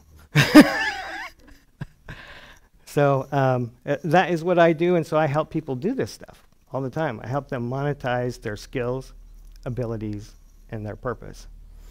And this is like it doesn't it doesn't really occur to you uh, unless you've run into someone like me, but uh, all of it. I mean, you were you were actually when you came to this planet, you were like you came here with the ability to make bank, and society has told you so that's not how it works. This is they have a different program they want you to do. You, you got to work really hard. You have to be from a good family. If you're not a good family, they still might be able to get in through the side door. You got to go to school. You got to get training. You have to be qualified. You have to have a piece of paper from the government that says you can do this thing, and then you can get a good job. Well, there, there are other ways to get this done. So you want to monetize your skills, your abilities, and your purpose. Now, skills are those things that once you do all of this and you start, I mean, uh, just to warn you, like, this is like life right now. If you're not if you are working for the man, this is the life you live in. And it's not very satisfying. But if you start working for yourself and you start monetizing your gifts, your abilities, your talents, you know, the things that God brought you here for, uh, sorry I said the G word. Uh, but I mean, now you're making money doing the stuff that resonates with you. Like your life changes. That, that you no longer live that life, and you can't. From where you're at, if you're stuck working for the man right now, you might not be able to even imagine this at the time. But once you make that transition, oh my God, everything changes because you don't spend one minute doing what you don't want to do anymore. And you can pretty much decide how much money you make. That's a different discussion. But at least you don't you can make as much as you're making on your job. So skills are those things that you've learned to do like you went to school for them. Uh, you trained with them. You learned those from other people. And then you have special abilities. Which, those are those things that just come natural to you. Like my daughter, who studied to be an artist, a multimedia artist, she was born with that ability. I mean, she was four years old drawing pictures. I'm like, oh my God, this is crazy. I'm like, I can draw a box. That's about it put a check mark in it. And so those things, you can, uh, people will pay you to share you, that information, those things that come easily to you. The things that you do are like time just passes and you don't even know. It's like I was just sitting there for 15 minutes, but actually, you know, it's like three hours. It's crazy. And I know people that actually, I don't know if this is a good thing or not, but they get on the internet and they love the internet. They could spend all day on the internet. This is what they love. They don't love anything else, but they love that. And like one person I know makes really good money now as a private investigator, using primarily the internet, using all of her time on there. So she found a way to monetize that thing that she loves. Now, your purpose is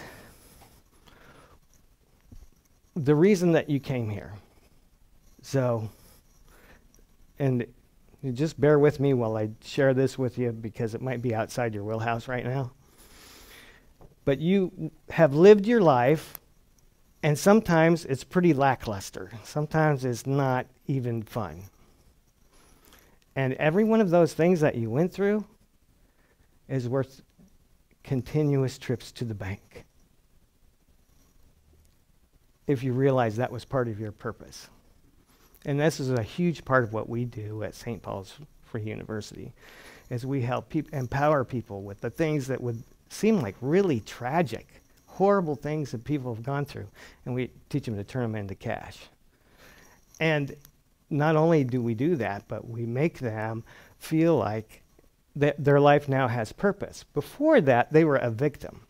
And now, after that, you know, they're helping other people. And they've, they've overcome all of that. So it's just, it's crazy. Sorry, I didn't mean to get all wigged out there. And you say, oh, I'm not qualified. That's the first thing everybody says. This is a great quote by Richard Bach.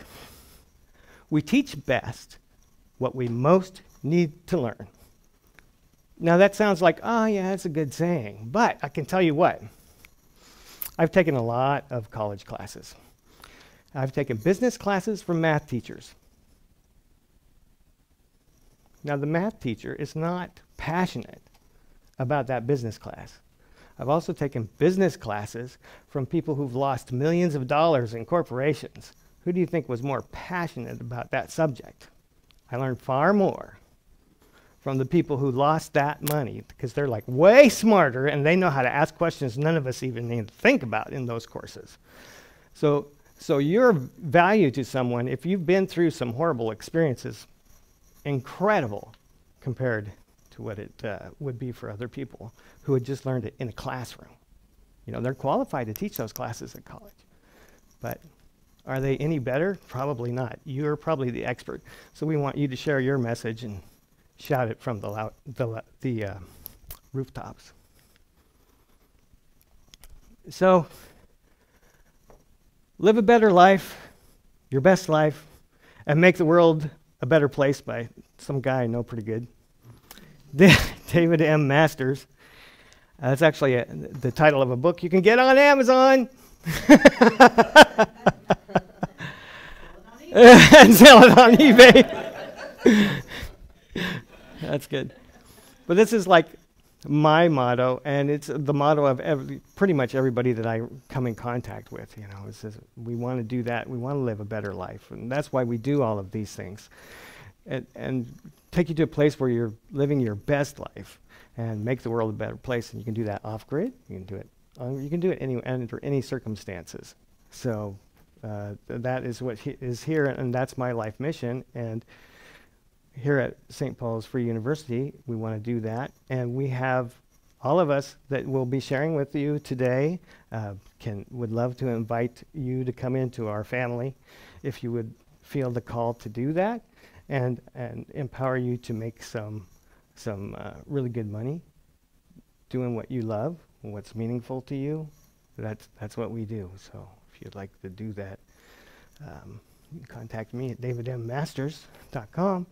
And now I can answer any questions you might have. How about that? We made it. I love it. Woohoo! Okay. Questions? Questions. Did I answer your question by ad- by accident? No other questions? Yes. So for this Amazon to eBay thing, do you make a listing on eBay yourself? And is that before or after you purchase the item? You actually don't purchase anything. So what you do is you find something on Amazon. This is a good question. Uh, do I have to purchase on Amazon before I list on eBay? How does that work? No, you just find there are many ways to set up this like a business. Let's say, like for Daniel, for instance, let's say he was going to do that. He already has people who are interested in this uh, energy information here, right? So off-grid energy. So he could list those items on his website for for X amount with have them buy it through eBay. Now, if he lists on Amazon, he gets four percent. But if he lists the same kit on eBay from his website, and they click through to that, buy it through through there, and he fulfills it, he made two hundred bucks instead of you know whatever the four percent is, uh, forty bucks. So you don't buy it. All you do is find stuff that you like, and then you on Amazon, and then you list it. In every one of those examples I showed you, except for one, they posted the same picture that they had on Amazon, which I would suggest that you not do. Usually you should have a different kind of a picture. If you like, like the camera lens was the only one, it was just sitting on a table. But if the camera lens was like on a camera with someone holding it, would have been way better than someone more likely to buy that, but, but um, sooner. So yeah, you don't have to buy anything. So you, you just find it, the listing, create a listing on eBay, and then when someone buys it, then uh, you have to place the order with a gift receipt, and it gets shipped to them, and you don't have to do anything else. Yes. The religious organization entity, Yes. the independent version, what is that? Is that, what does that consist of? The independent regi- religious organization. Let, let me get a little more information. What do you mean independent? Because they're it's so easy to create. So you just make it up. Amen. yes, you actually there are uh, I'm going to direct you to Google on that one because there's about I mean we teach like a whole day class on that. So there's hundreds of ways to create it. But uh, of course, it's really easy. You can do it online. You can do a religious 501c3, but uh, it depends what you want to do with that. If you want to be, if you want to get government grants, then you have to do it that way. But if you really want to be private and independent, then there are many other ways that you can do that. So I'll refer you to Google, or, or maybe I'll see you in the class. That's anyone else? And it's uh, it, the price varies anywhere from free to thousands of dollars. So, I interestingly enough, um, I was, I had, I've been a minister for. I was in I was in the God business for about ten years, so. so in, in Oregon and in Washington, and I started in Oregon, and when I came to Washington, like in Oregon, they have like a registration process, and when I came to uh, Washington, I went into the courthouse to register, and they're like, "Dude, you're in Washington," and I'm like, "What?" They said, "They said, yeah." I'm like, "No, I gotta like fill out forms and register and file," and they're like, "No." And they said, "If you're a minister in the state of Washington, all you have to do is say you're a minister. We have no paperwork here." I was like, "What? Can I still marry people?" They're like, "Yeah." I'm like, "Okay." There you go, first-hand information. That happened to me in real life right here. Some states, you know, Washington's one of them, really liberal when it comes to religious organizations. They're like, religious organization, we don't even want to play that. Unless you're a 501c3, that's not really Washington C, that's the feds.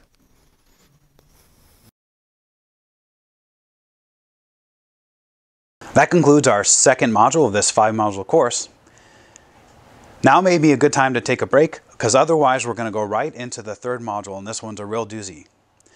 This module will be presented by guest speaker Wendy Lynn Johnson, a child care specialist and mother who has decades of experience not only raising her own children, but raising a whole community of children.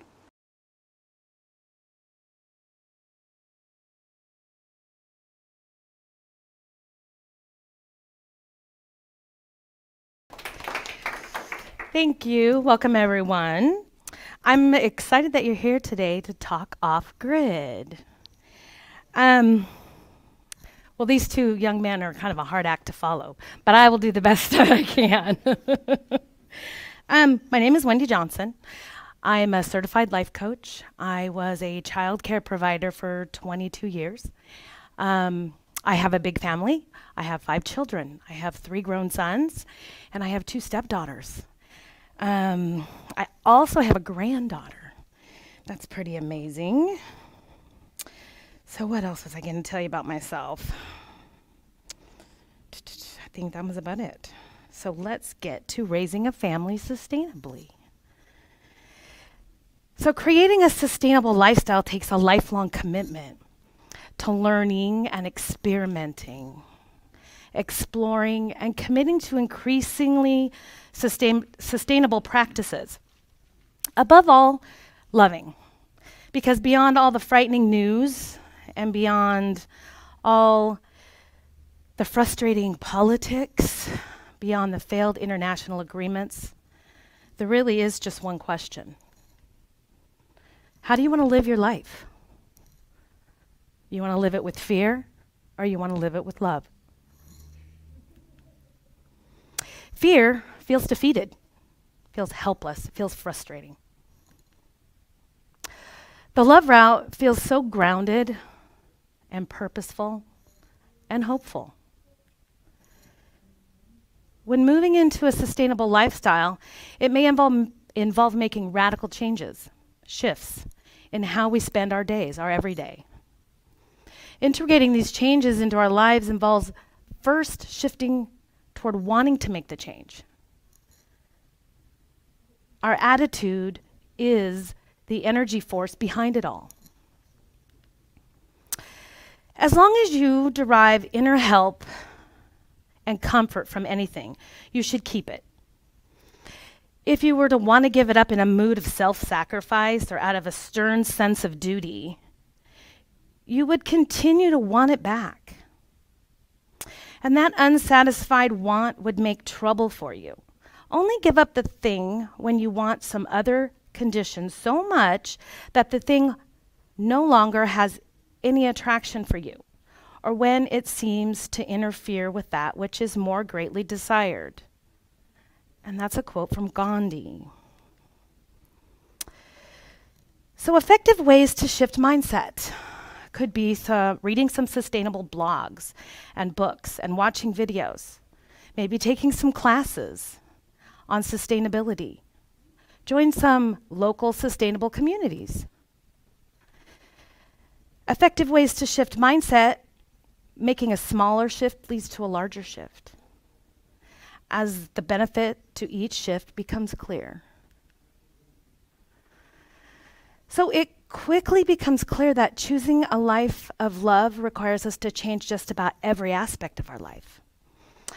To change how we spend our days involves shifting our lifestyle away from consumption and towards a more sustainable activities such as self-reliance.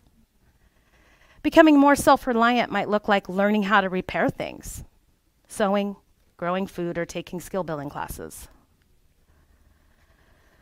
collaborating with others. There's many ways of doing that. We can barter our services. We can take sewing classes, gardening classes, growing food, carpooling, ride sharing. We can learn how to cook with local sustainable produce or even where to shop for it. Um, we can buy used equipment used clothing and furniture and appliances and tools. And some of those places that you could buy those things might be eBay, Craigslist, you might try garage sales, free cycle programs, hand me downs, neighbors and friends. There's many ways of collaborating that. You may want to choose to join a sustainability community. So there's local green meetup groups. There's the Sierra Club US, US sustainability organizations, Bioneers programs, volunteerwatch.org, Friends of the Earth International. Children. Shifting entertainment to love, to low impact activities, such as spending time in nature Maybe reading or downloaded reading downloaded books or library books, volunteering on local sustainability projects. So, if you're raising your family in a sustainable environment, there will likely be more chores for everyone in the house. You may have a vegetable garden, or an herb garden, or a flower garden, or all of them. And these gardens are going to take some tending to. You may also have animals such as cows or chickens, goats, even pigs. The cows will need milked, and the chickens' eggs will need to be collected.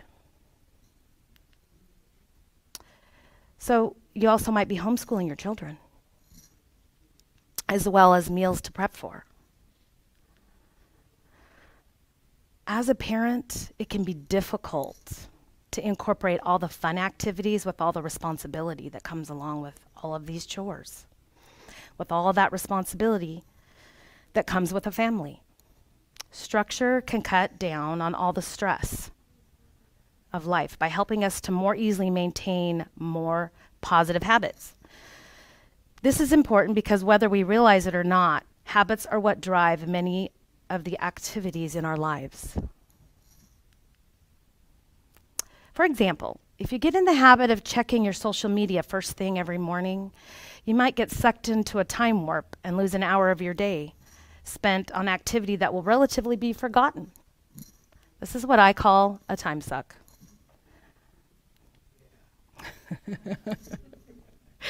if you were to get involved in the habit in habits or develop habits or routines of working out or exercising first thing in the morning, maybe try journaling or meditation or listening to positive affirmations, that's one of my favorites.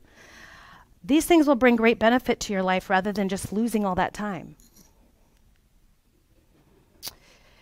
Having a routine can ensure all the tasks at hand are completed. Children thrive on routine, knowing what is next and what is expected of them.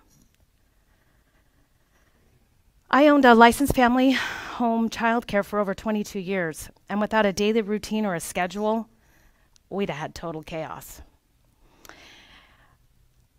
All the kids knew exactly what to expect. Um, they knew what was coming next.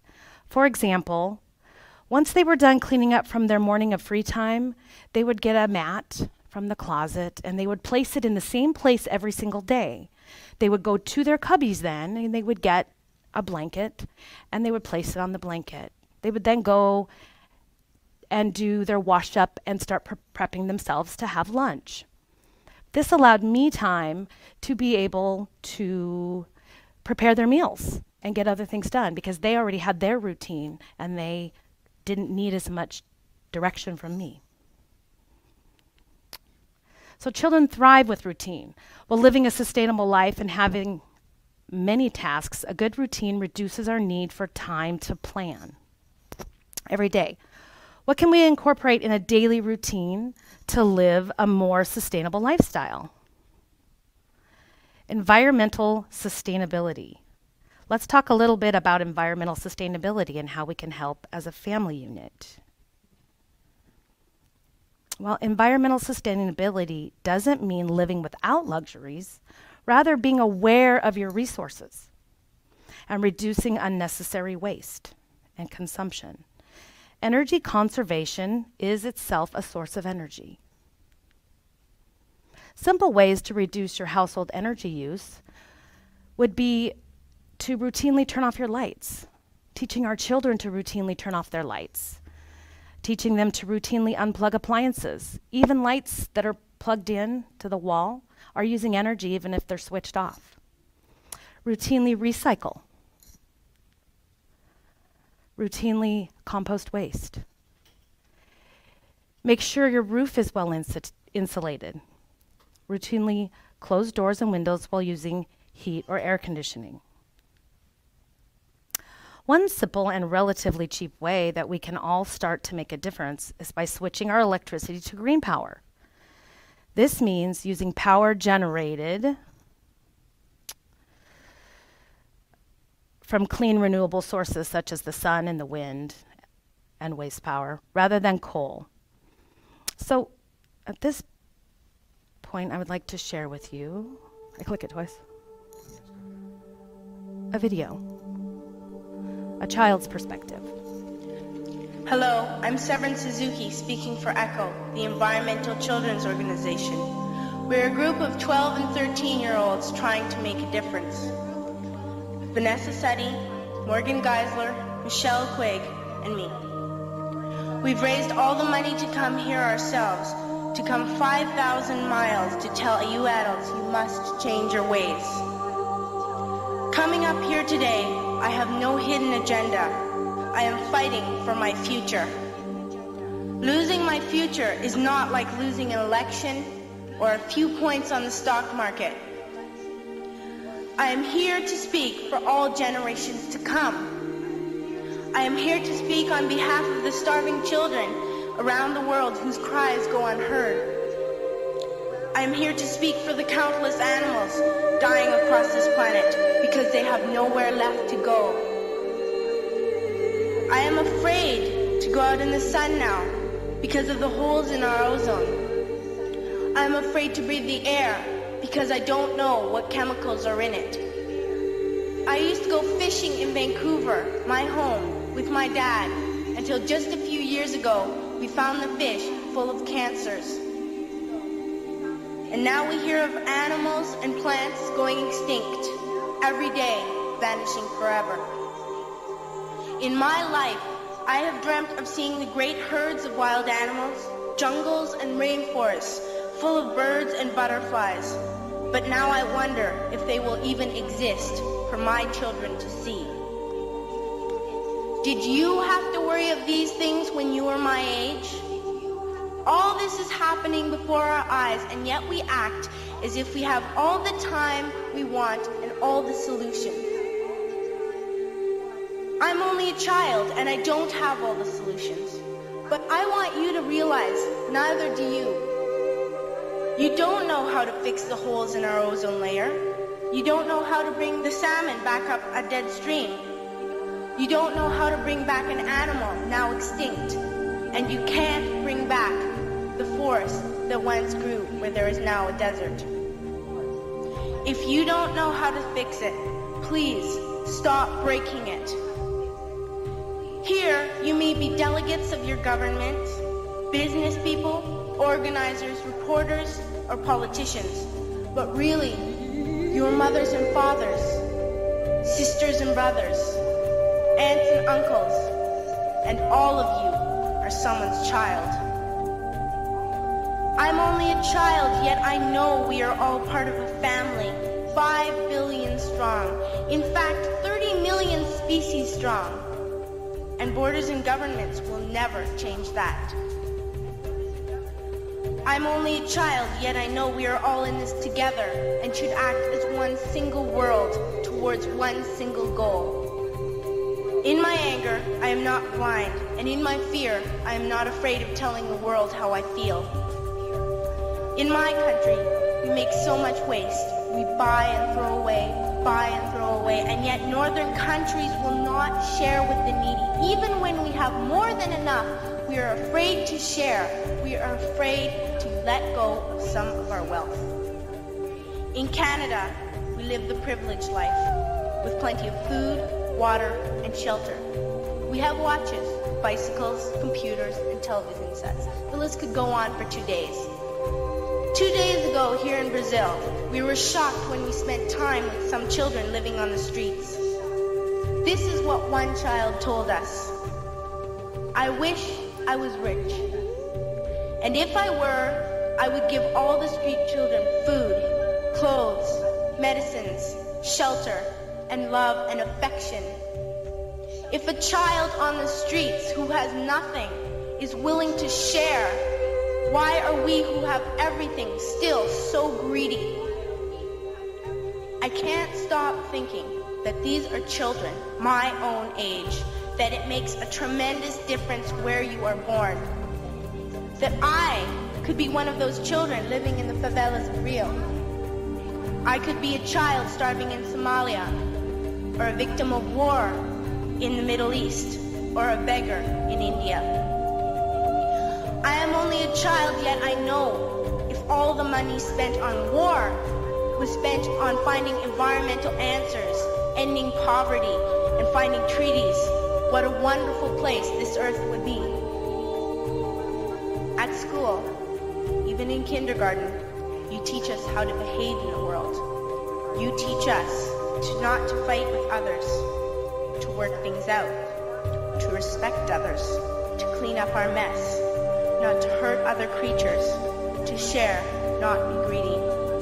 Then why do you go out and do the things you tell us not to do? Do not forget why you are attending these conferences, who you're doing this for. We are your own children. You are deciding what kind of a world we are growing up in. Parents should be able to comfort their children by saying, everything's going to be all right. It's not the end of the world. And we're doing the best we can. But I don't think you can say that to us anymore. Are we even on your list of priorities? My dad always says, you are what you do, not what you say. Well, what you do makes me cry at night. You grown-ups say you love us, but I challenge you, please, make your actions reflect your words. Thank you.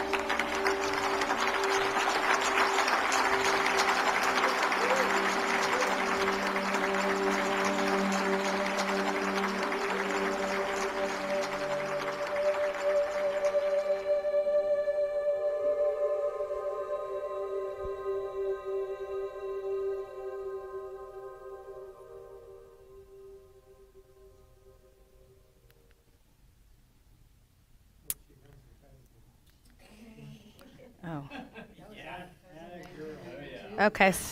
it was it was older, huh? It's 1992. Okay, so now we're going to talk about kids and energy. If I can find my slides. No, it's starting it over. There we go. So, as a kid, the concept of consumption and money is completely foreign. Things are just there for you to use, be it the food that you eat or the toys that you have to play with. Electricity that powers the nightlight in your room. That's usually why we're met with blank faces when you tell children to turn off lights when they leave a room or stop opening and closing the refrigerator just to see if the light goes on and off. So, how do you convince a child to be more conscientious of the day to day household energy consumption when they think that the picture on the television set is just a result of magic? We need to educate our children on the energy they use and empower them to make smart energy decisions. It can be fun, it can be a money saving activity. Here are a few ways we can empower our children and reduce energy consumption. First off, if we personalize their energy usage with relatable examples, throwing out terms like kilowatts, carbon footprint, and the energy grid probably won't relate to your grade school kids. So, using relatable scenarios and allowing them to connect the dots between their behavior and the energy use can help educate them on their personal impact. For example, a video game console consumes up to 11 billion kilowatt hours per year. That is roughly $1 billion in annual electricity bills. That is as much as all the households in Houston, Texas, the fourth largest city in the US. A lot of this electricity is wasted when the consoles are left in standby mode. So, teaching our children to power off their consoles when they're done playing can lower the usage of energy and begin their understanding of how little actions can add up to make a big difference. So, just as the schools help educate our children on the three R's, we need to help, we need their help teaching them an additional R, reducing energy consumption. So, numerous utilities have community engagement platforms that reward individuals and schools for consuming energy saving behavior. One of these schools is Queen of Heaven Catholic School in Canada. Milton's Hydro program, they leverage Milton's Hydro's program to educate its students to become eco warriors and raise energy awareness through the school with announcements and posters.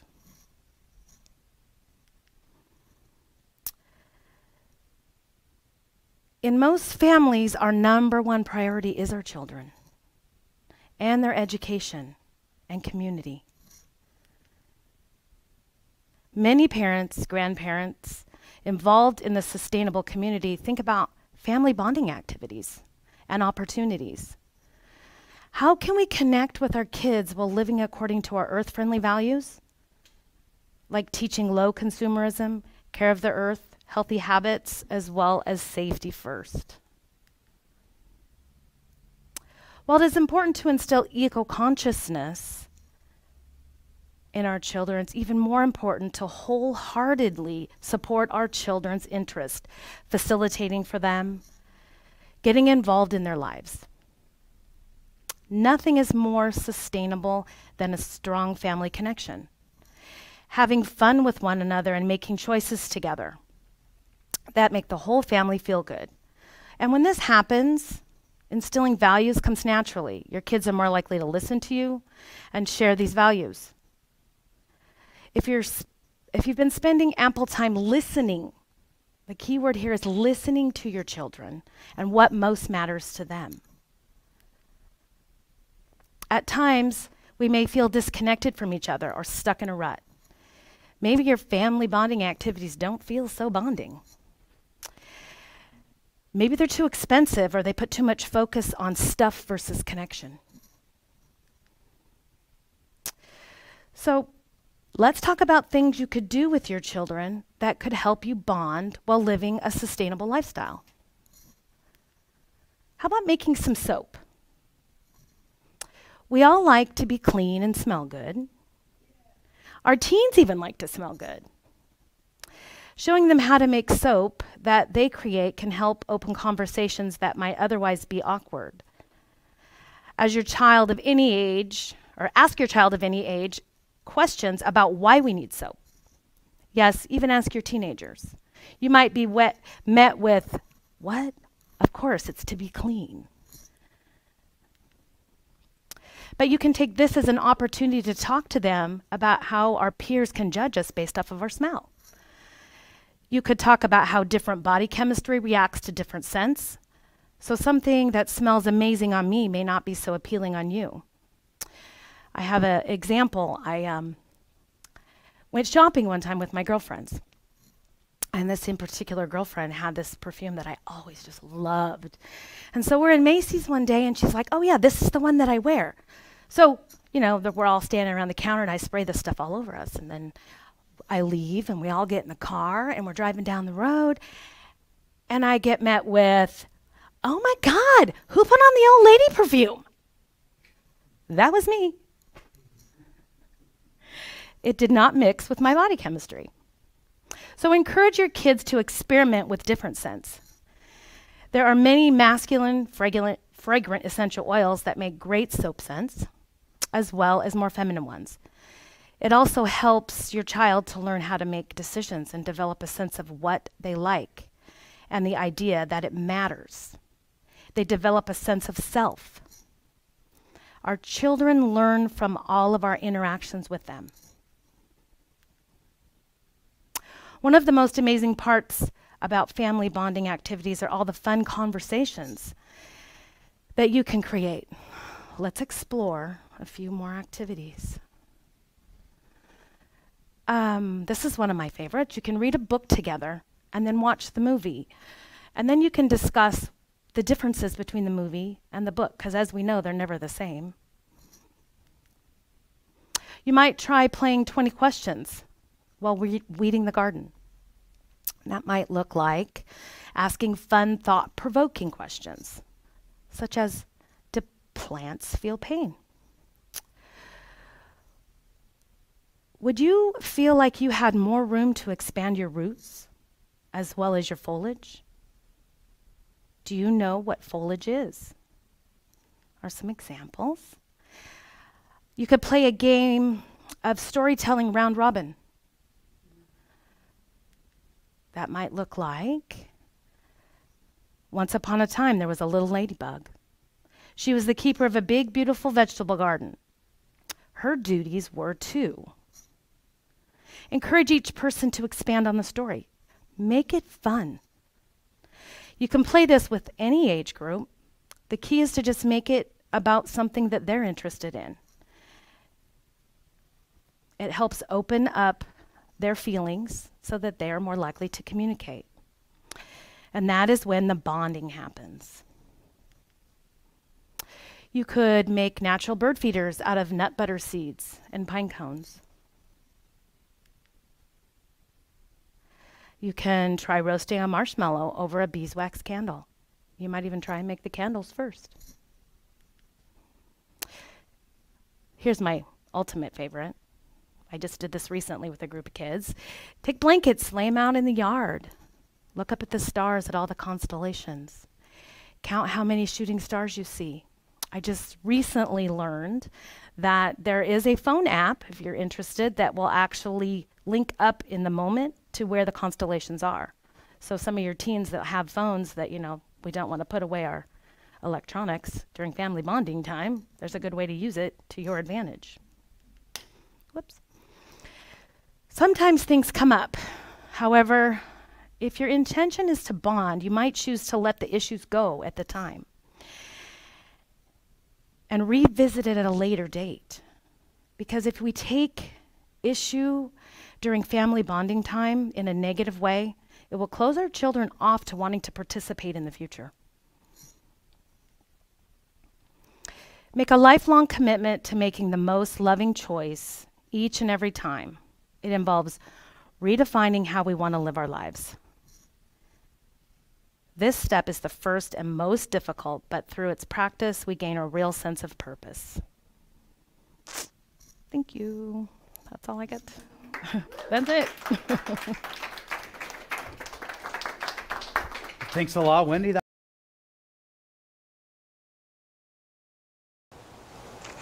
That concludes the third module of this five module series of presentations. By now, you should have collected three of the five secret letters which will entitle you to your free printed certificate sent to your door at the end of this presentation. If you don't have three letters, make sure you go back and find those before you move on. This fourth module is taught by love and relationship guru Mark Seidler, who travels around the country with his partner Lynetta in a solar powered RV. In this presentation, he's going to share some of the financial considerations of building and living in an off grid RV, as well as what it takes to build a strong, intimate connection with your partner when you are living off the grid.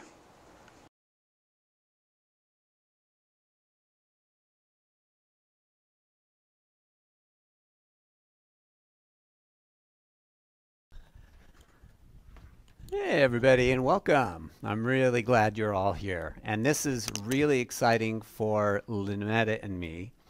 Um, that's us there. This we've kind of been living the dream life. Um, one of the reasons that we've lived in an RV full time for four years now. We've been together five years.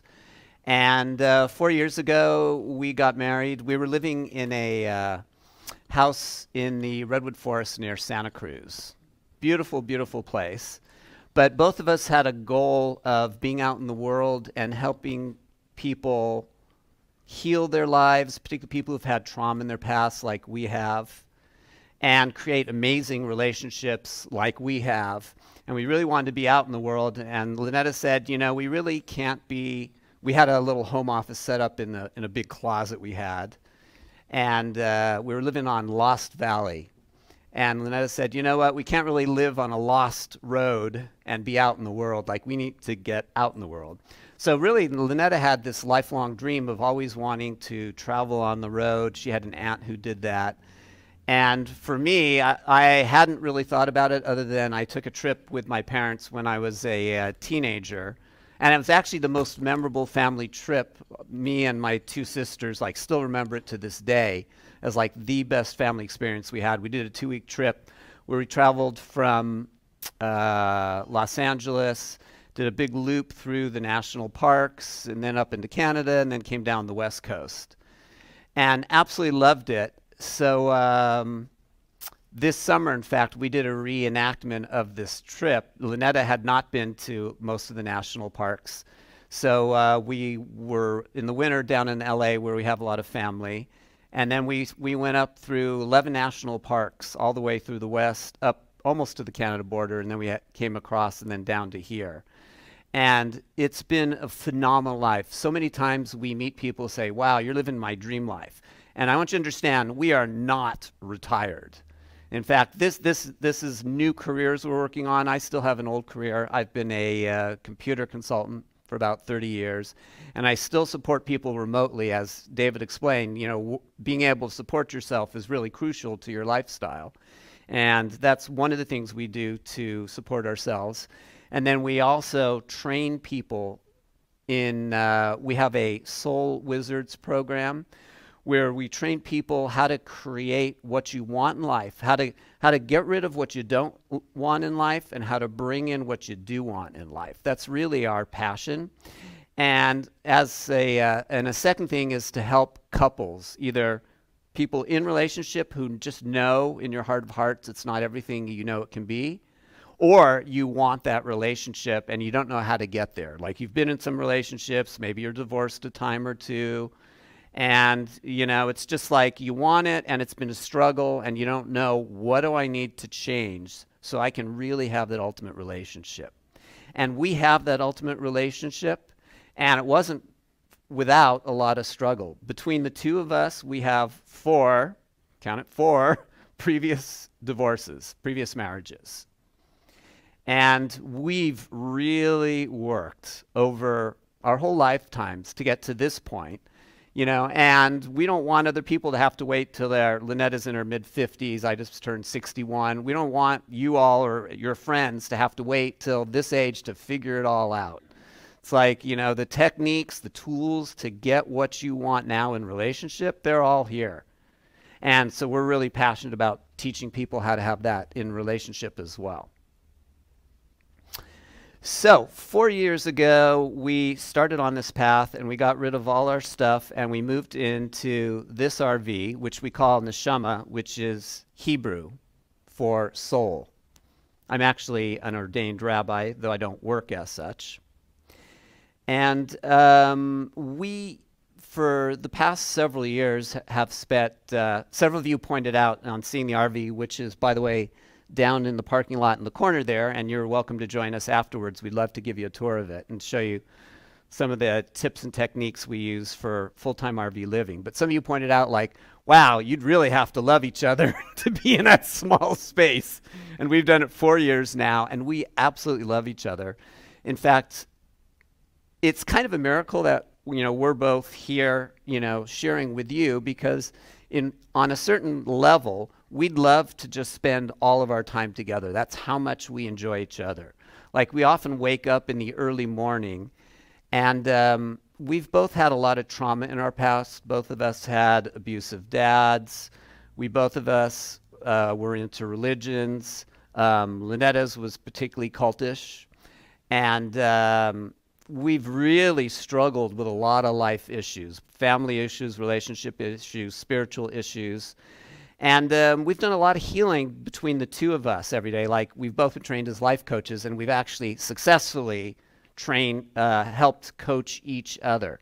You know, when you get to our age, however old any of you are, you know, we all get triggered by something. Somebody speaks to us in a certain way, or give, even gives us a look, and you know, we get those emotional triggers. It's hard not to, but when something comes up when you get to our age, if you're savvy, and I'm sure most of you are, you know that when a trigger's coming up, the person in front of you is the trigger, but they're not the cause.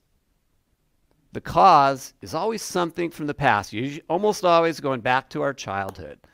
And I can pretty much say by the time you're age 18, 20, everything that's going on in your life is just a re-triggering from the past.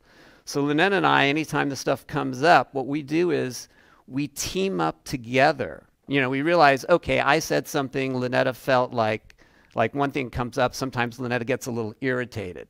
Now, she's actually not getting irritated with what I say, but she's getting irritated because she thinks I'm rushing her, for example, because that's what her family always did.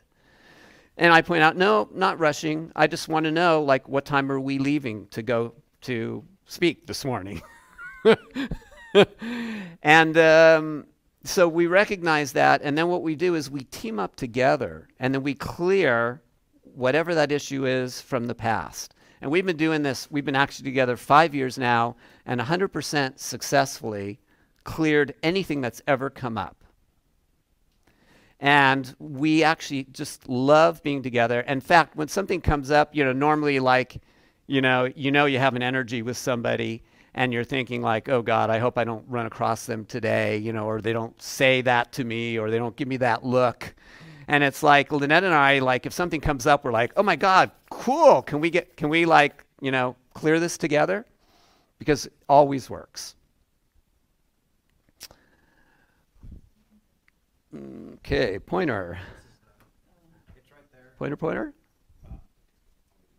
Oh, there it is. Gotcha. Thank you. Okay. So that's a little bit about our background. And Lynette is going to share some other stuff. She, we're going to split the presentation.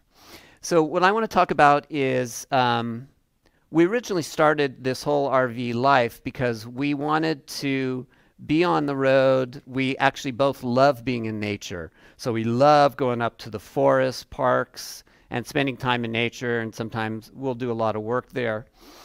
And um, we also wanted to be on the road and to meet really cool people like all of you. And that was really why we did this. But there have been some huge benefits, which I want to share with you now, in particularly benefits of spending less money, spending less time, and having less of an environmental impact by living in an RV full time. So let's do a little comparison. So, if you're either renting a house or own a house and you're doing a mortgage payment, on average, you're probably spending somewhere between one to two thousand a month. Now, in some areas, you go into the Bay Area, you go to LA, you could be spending 3,000, 3,500 or more on rent or a mortgage payment easily. Does that fit most of you here? Okay. Now, for the RV, we own our RV outright, and it was not very expensive, and there are lots of ways you can get one without spending a bundle of money. You can spend hundreds of thousands for RVs, and you can get an amazing RV for five to 10,000, which is what we did. Um, so we have no rent or mortgage payment. Now, sometimes we'll go to a national forest, for example, where you do have to pay to camp. But there's lots of free places you can camp, and that's not just friends and family. And that's one of the things that we'd be glad to share with you. So we spend maybe a hundred a month in the equivalent of rent or mortgage. Utilities, electric, gas, water, sewer, all that fun stuff. Typically, you're probably spending about two to 250 a month in this area for all your utilities. Now, for us, we have propane, which runs our fridge and our heating. And we spend about 15 a month for that. And then we have to dump our black water, that's from our toilet. And there, are actually free places here in Washington, a lot of them. But, you know, typically we might spend about 15 a month for that.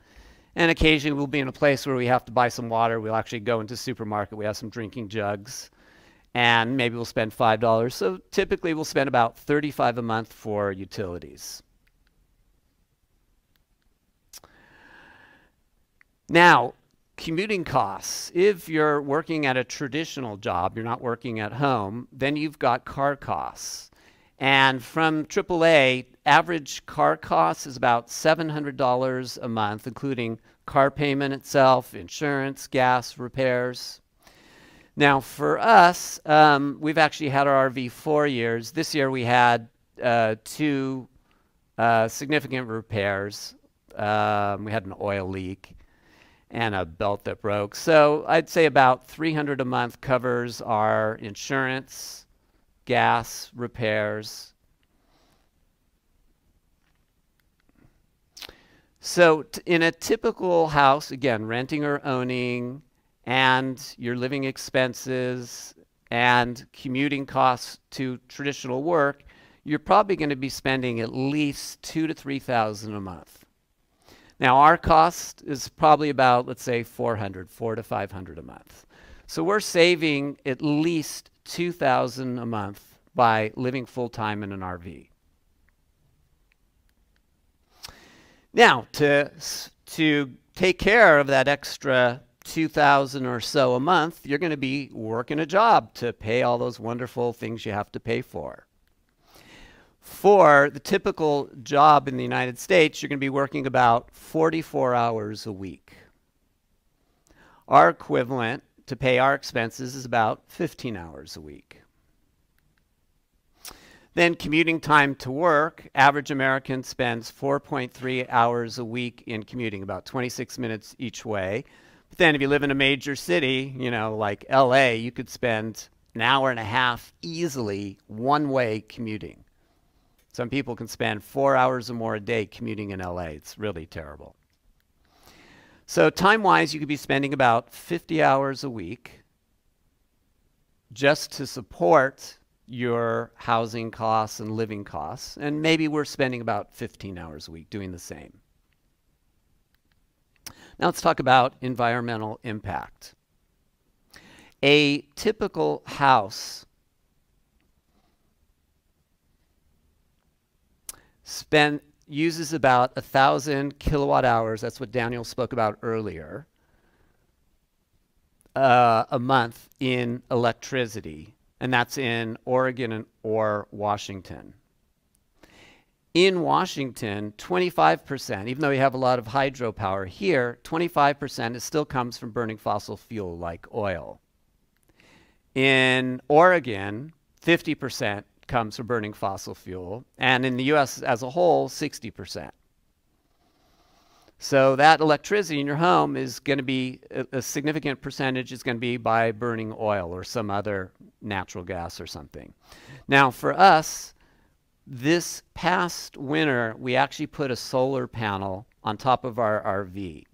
Now, I can't tell you how thrilled both of us are when we're sitting anywhere on a sunny day and we just look at the battery voltage just going up, up, up, and we're just sit. We could be sitting in a parking lot, you know, at, at Safeway or at Home Depot, and we're getting charged up. It is the most amazing thing. And because, you know, again, as Daniel pointed out, we've we've really carefully chosen all the items we use. Like we have two laptops, two iPads, two iPhones, but we have like DC DC chargers so you don't go through the inverters. There's all these things you need to learn about RVs and how not to waste power. So we literally have one 100 watt panel on top, which only costs a couple hundred dollars to put in. And that's basically supplying all the electricity we need to run everything in the RV, assuming you get a sunny day. Now, it's going to be a little more challenging now that we're starting to get some overcast weather. And gratefully, we're actually staying at Wendy's and she's allowing us to plug into electricity. So we are going to need some electricity when we get those cloudy days. But if you're in mostly sunny weather, you can be totally off grid. And we love, um, in RV language, they call it boondocking where you just go off in a forest somewhere. Like we went to um, Mount Ho Mount Hood, right? Uh, what was the lake? Trillium Lake. Oh my God! Have any of you been there? Trillium Lake. it is this gorgeous lake. It's one of these classic scenes. Oh, actually, that was the first picture. You, wait, let me. Go. Wait, wait, wait. Hold on, hold on, wait, wait, wait, wait. Let me go back. Back, back, back. Oh, sorry. No, it's not that one. Nope, sorry. Lynetta's got it. You're right. It's one of these picture perfect places where you have a mountain in the background, this gorgeous lake. Yeah, Mount Hood. Yeah. And forest all around. And you have great phone service there, complete phone service, at least from Verizon. So all that work and work at home stuff that David was talking about, you know, I support my clients on the road and we're just sitting in the middle of the forest charging off solar electricity for free. And we can literally go at least two weeks without needing any connection whatsoever. Oh, yeah.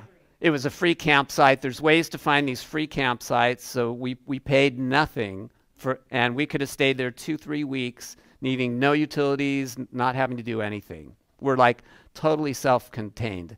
And it's a real joy. And of course, you know, if disaster strikes, you know, like one of these wonderful volcanoes decides to erupt or, you know, the, the uh, fault line offshore goes off, whatever, it's like, okay, sorry, folks, but we're out of here.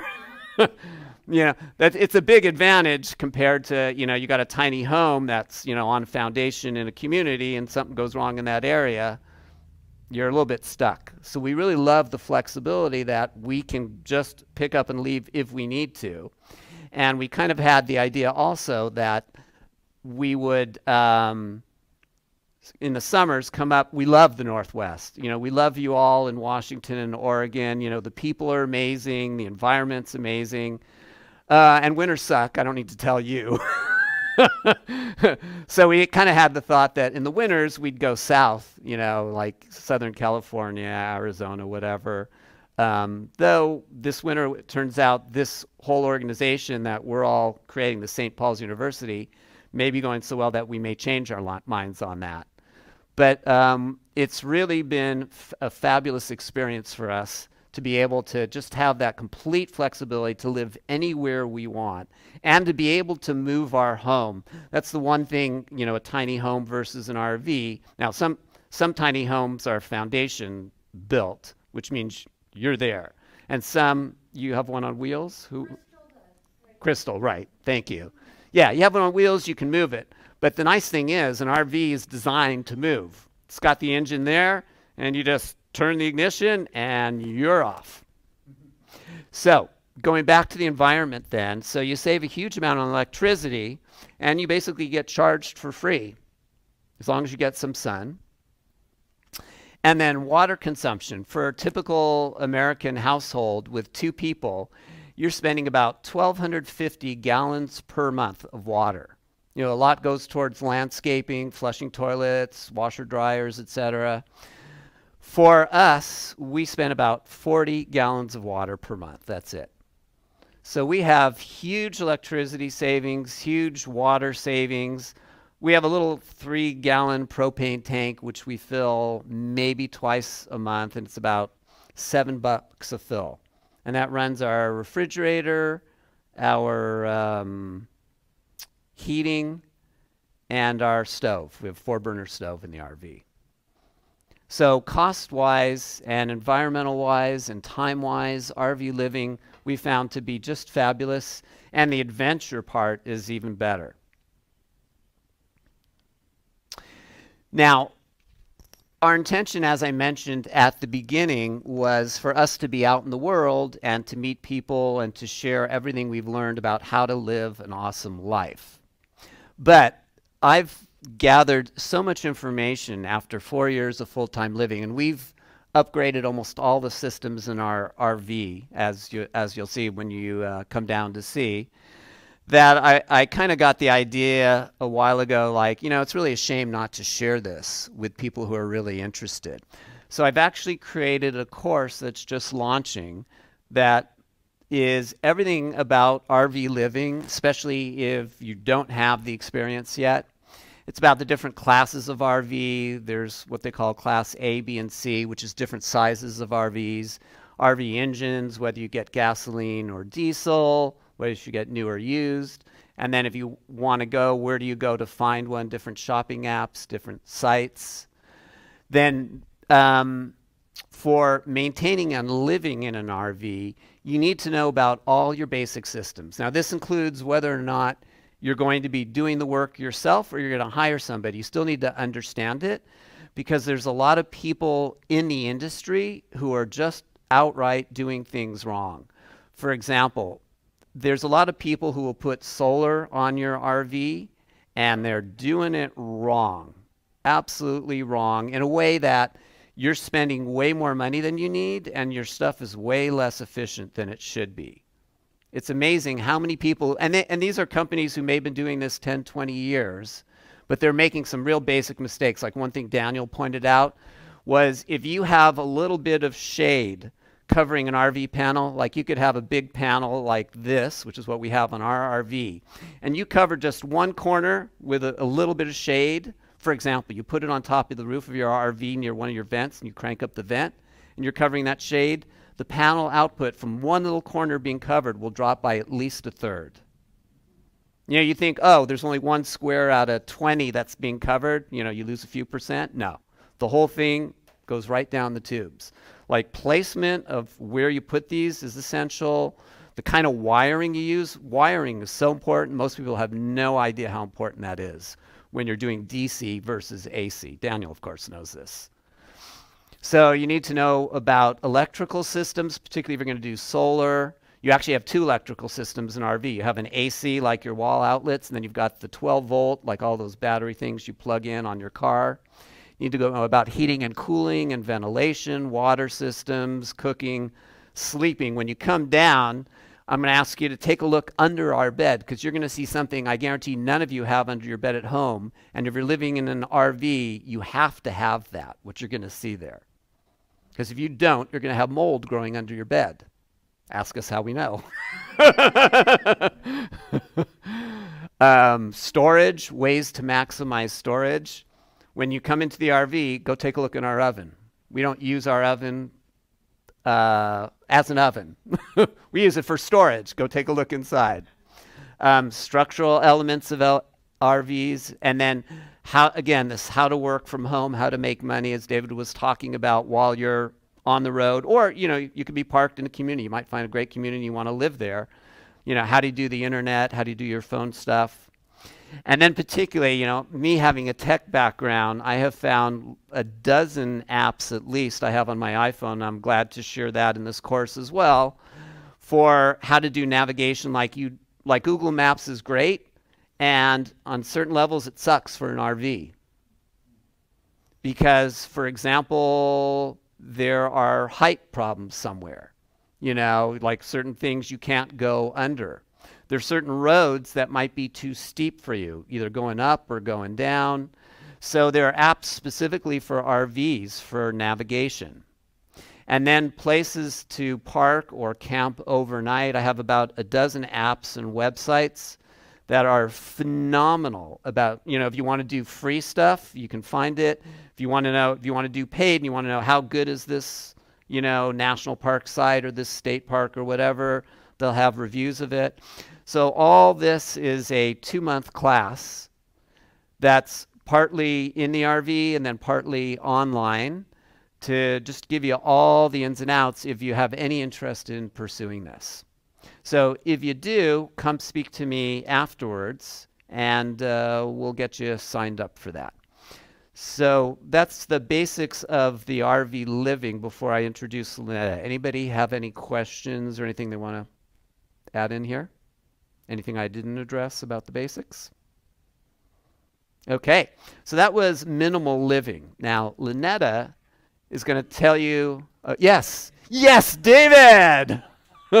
what can we do for you? I was a little, got a little excited about you saying that there's all of these places we don't know about that are free to stay at, which are alternatives to like the Walmart parking lot.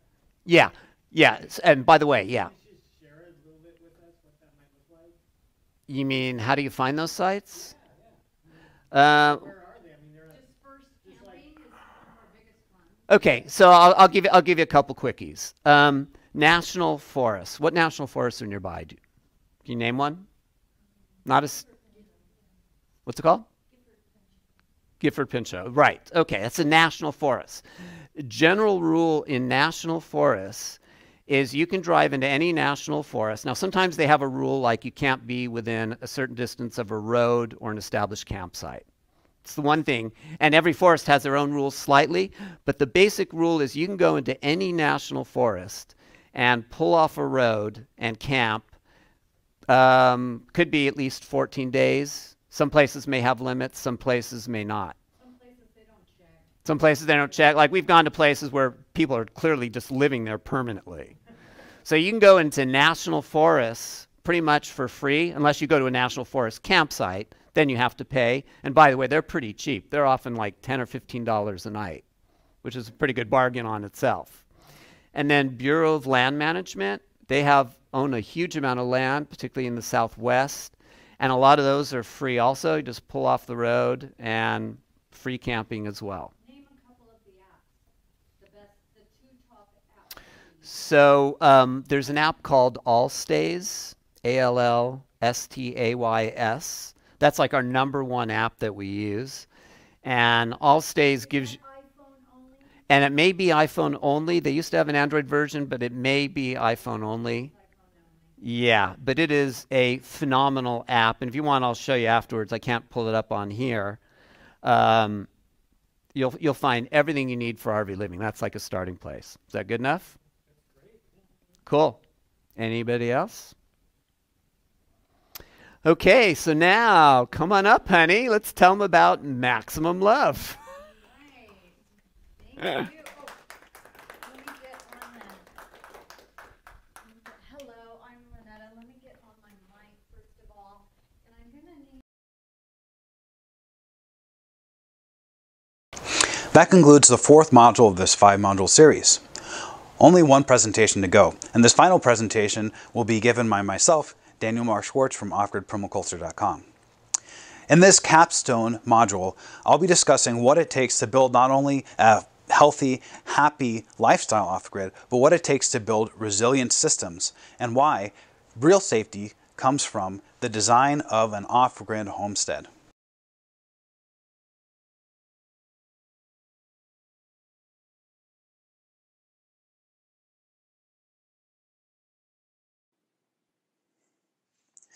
Good morning, everybody.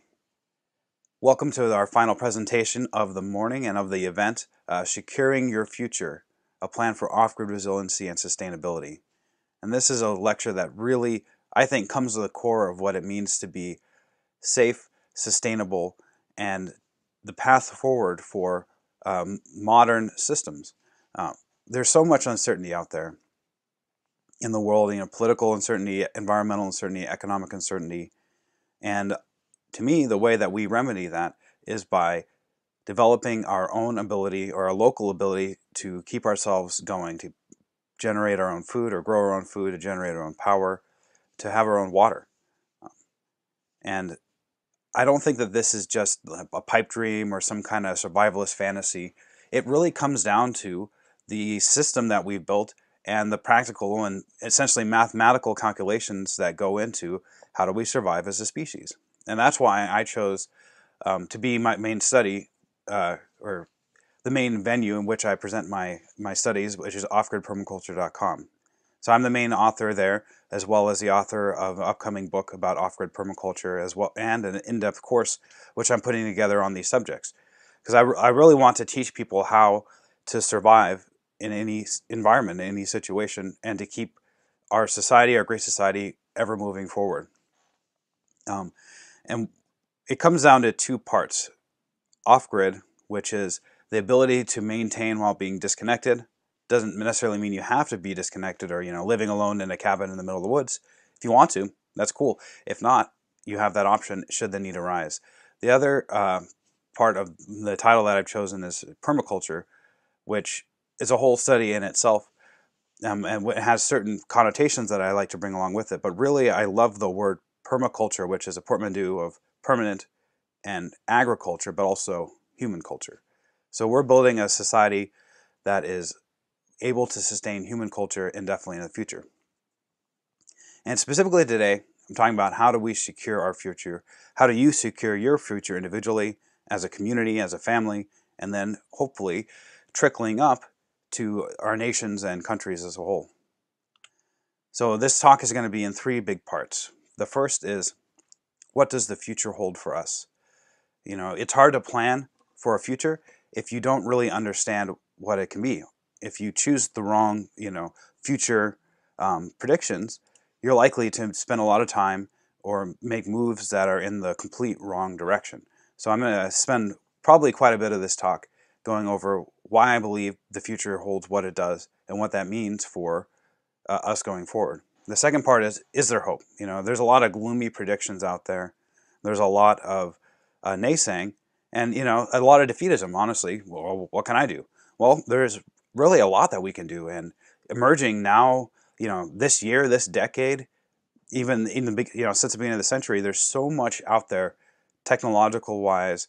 Um, we have so much opportunities now that we've never had in the past to develop these systems, or that if we did have in the past, we're so hampered by the communication means that we had at the time and our ability to get together and work together as a community that now I think we're in the best um, shape that we've ever been to really get a open source permaculture future started as a, as a community, as people for ourselves and our families.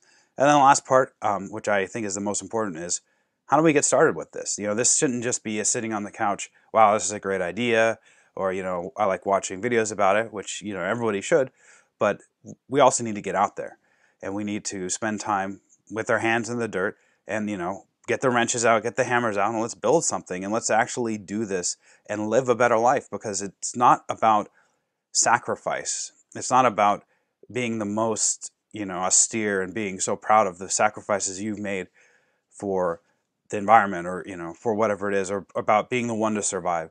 It's really about we're taking our life at the level it is and going up to an even greater level than we ever thought was possible before. And that's really the most exciting thing about this whole the whole part. But before we get into that, you know, what is the future? And I, I put this Star Wars robot here because that is the vision of the future that we've been told. Hyper technological, um, basically unlimited resources, unlimited power, um, and uh, the limited universe to explore. But the, the, unfortunate reality, as much as I love Star Wars and you love science fiction, is that probably we're going to be stuck with a very limited set of resources. So here are predictions for uh, crude well predictions and past history of crude oil production. Right, and the the mathematics behind how this works is that production of finite resources has an exponential increase, like you can see on the left of this graph. And then as we start saturating what is there, you know, there's no matter how much of something we have, there's always a limited amount of it. There's no such thing as infinite in the universe.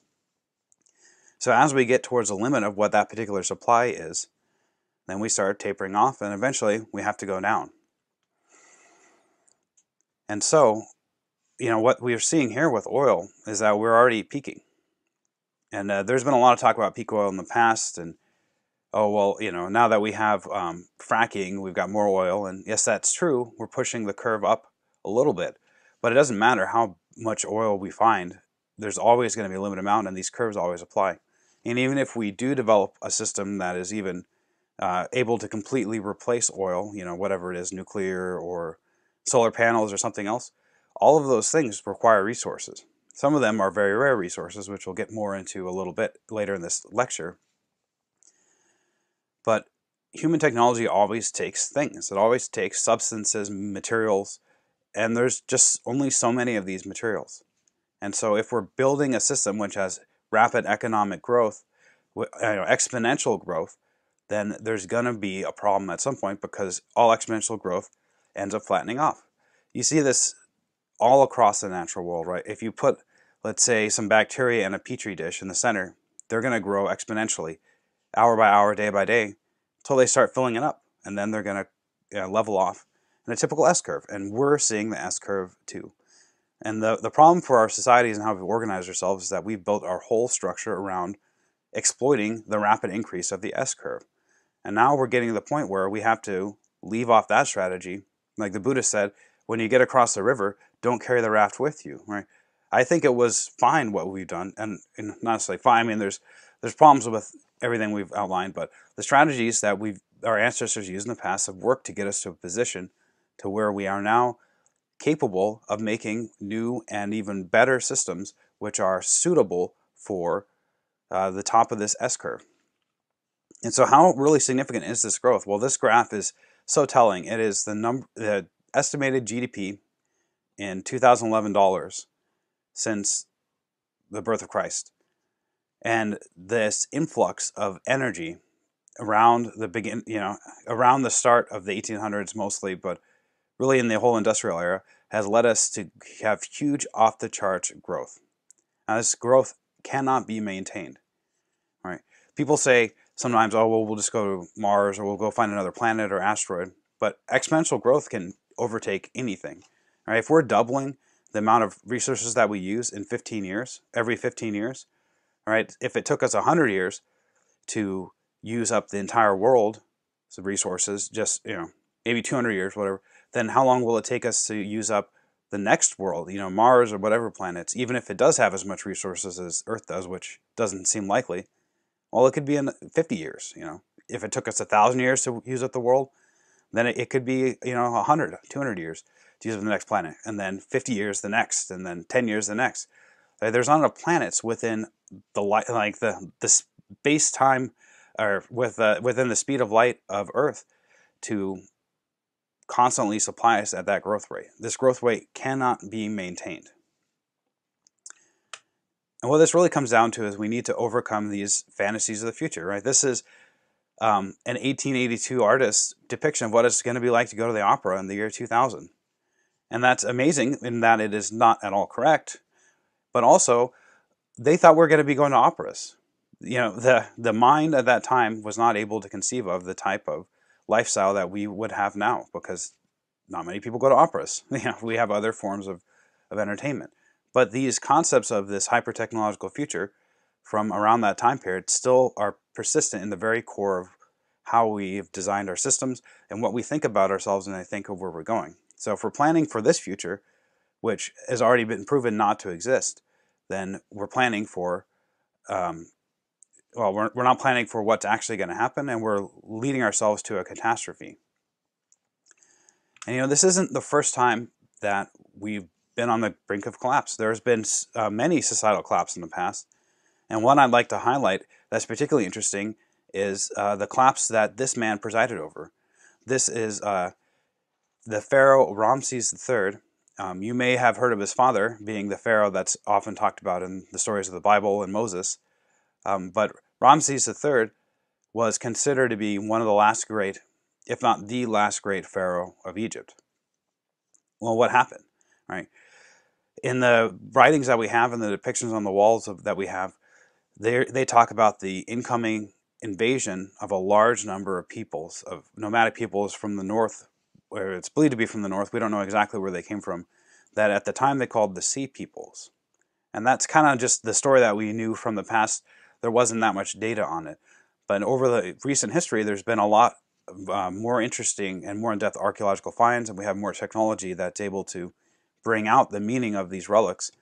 And so in his uh, really astounding book, 1177, The Year Civilization Collapsed, Eric Cline, professor, has laid out the full story of what we know happened, or what it is that we know of what happened.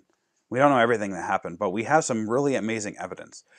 Now that we have better linguistic capability, they found shards of communications from that era, and we know for sure that there was a global, or at least a, a pan-Europe and Asia trade network that spanned all of the major civilizations that were known to exist at the time. This is, the, besides the modern era, this is the only other time in history that we've known for sure that, that there was that wide of a trade network. And if you look at the evidence of what had happened, there was invasions, there was widespread societal and technological collapse, like writing pretty much ended. Um, in you know, large quantities of writings were not found from the period immediately after this collapse. Um, but there was economic collapse too. And there were disasters and all kinds of things. So it's hard to really nail down exactly what it was. But it's looking more and more like whatever started this, we know for sure led to the complete um, systemic collapse of the way that these societies worked. Right? All of their systems of organization, all their trade routes, all the stuff that they had built up in this technology, and the, being the Bronze Age of bronze, um, was left in the dust, and it took hundreds of years for them to build up to the level of technology that they had after this, right? And a lot of it has to do with the fact that they were limited um, access to important strategic resources, particularly tin. So how you know impactful was this? Well, these great societies, the Minoans, the Mycenaeans, the Trojans, the Hittites, the Babylonians, you know, these are people who were able to build the, you know, the Colossus of Rhodes, the Hanging Gardens of Babylon, of course, the, all the wonders of Egypt. Every single one of these societies was eradicated, except for Egypt. Um, they were left in a state so weak that they basically never attained the glory of ancient Egypt ever again. That was the end of all these peoples. So is is this, you know, the potential that we're going to fall into? Well, what are we looking at in particular? It's not really the sea peoples. But here's a list of things that, based on all the evidence out there that I've looked at, seems to be the most important um, pain points that we're going to be looking at in the future. Now, I'm not saying we're going to get hit any of these or we're going to hit all of them, um, but these are if you're considering um, how I put this, if you're looking at what could be, you know, if you're preparing for a car crash that you hope never happens, you're going to be looking at these elements because these are the most uh, poignant or the most important upcoming um, potential catastrophes. One is falling energy supply, right? We've, we've been able to replace a certain amount of our energy with other systems, but we're so linked in petroleum, and even if we do make a switch to uranium-based systems, or you know maybe even far future systems, the amount of our you know our ability to produce these in large quantities takes decades to ramp up. You know, even if everybody on the planet decided, okay, let's build a nuclear reactor to cover all of our capabilities, well, there's only last time I've checked out, there was only one company capable of building nuclear reactor containment vessels, right? And they're booked out for 10 years. Right? We just can't build them that quickly. So we, no matter what route we go, renewables, not renewable, uh, we probably going to have an energy problem. Scarcity of key, key resources.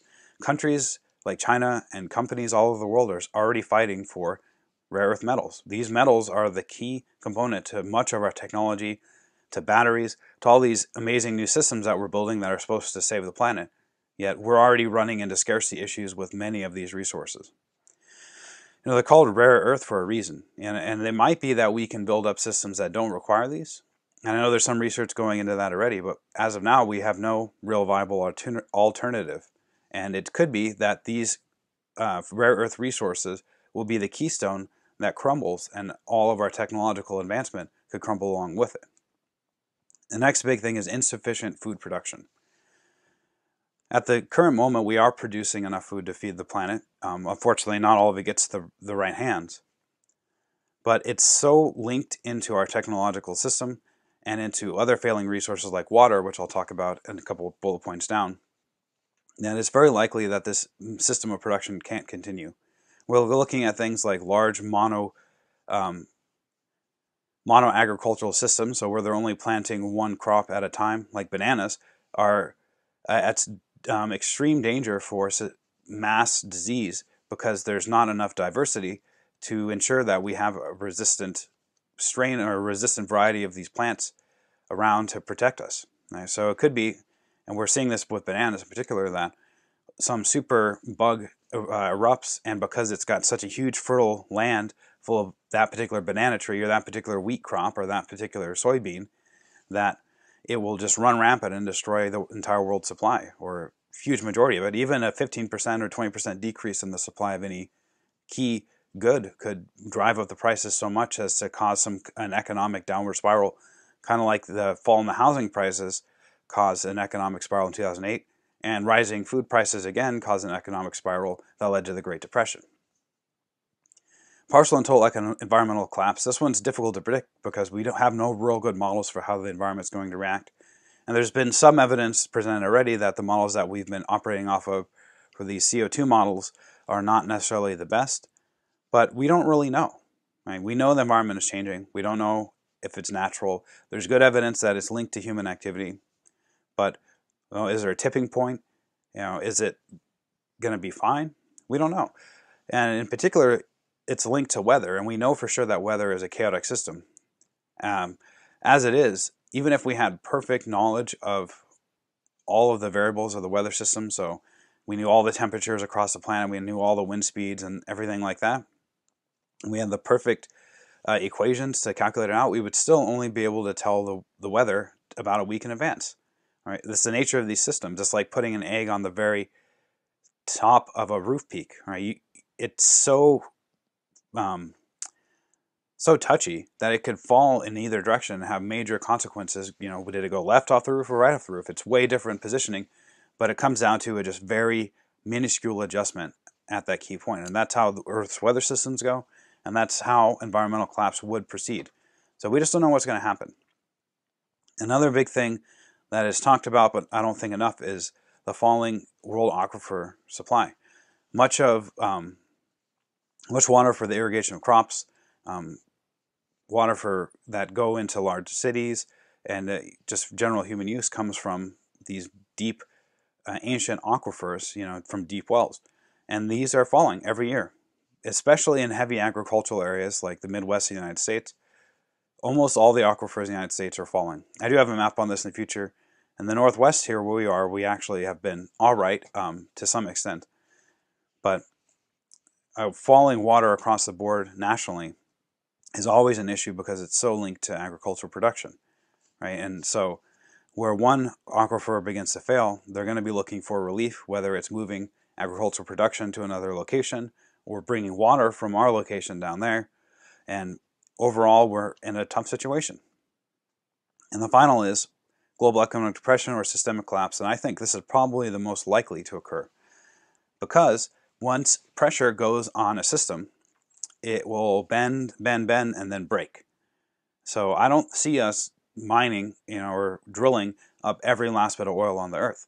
More likely what's going to happen is we're going to get to the point where we have falling production, and that will lead to whatever outcome, you know, whether non-functioning government, wars, invasions like the Sea Peoples, um, or, you know, almost any of these other catastrophes could be linked to that as well. And then we'll end up stop, stop, stopping, uh, we'll end up stop drilling these oil reserves. So any one of these issues could lead to a systemic collapse or could be linked with a systemic collapse. And it could be that any or all of these could happen. So that leads me to what hope do we have? Is there any way that we can protect ourselves from this? You know, do I need to vote for somebody? Do I need to you know, build a house in the country with a year's worth of canned goods? Well, this is how I see it. The key to overcoming this is building what I would call it, in based on this graph, a distributed system. Right now, our systems are very centralized. You know, 60% of all the food in the United States is sold by the top five um, grocery store chains. More and more of our agricultural production, more and more of our general manufacturing is being concentrated into the one or two factories in China and the one or two giant chicken producers in the United States or what have you. There's an increasing move towards centralization. The problem with centralization is you have a key, you know, a keystone in the center, and when that falls or if anything happens to that, everybody loses um, access to the resources that they need. Now, the motion in the right direction is to move towards decentralization, to where we have regional or community-based production, and especially production of key resources like food, water, and um, housing, energy. If we get those in place, then we can work up to the nicer things like technology and so forth. But if we have the ability to produce what we need, you know, even if technology goes away in a distributed or central decentralized system, then we'll be much safer. And then, of course, the ultimate goal in my mind is decentralization or distribution to where we have multiple interconnected, um, yet mostly independently functioning communities. And so, why am I saying this? Why is distributed such a big deal? Well, if you look at the research that we've looked into, what happens if there is a large scale catastrophe, a lot of this was done during the Cold War era and uh, you know scientists and intellectuals were looking at what would happen if there was a nuclear attack. You know, military people, people experts in logistics, all of it looked at looked at this, and what did they do?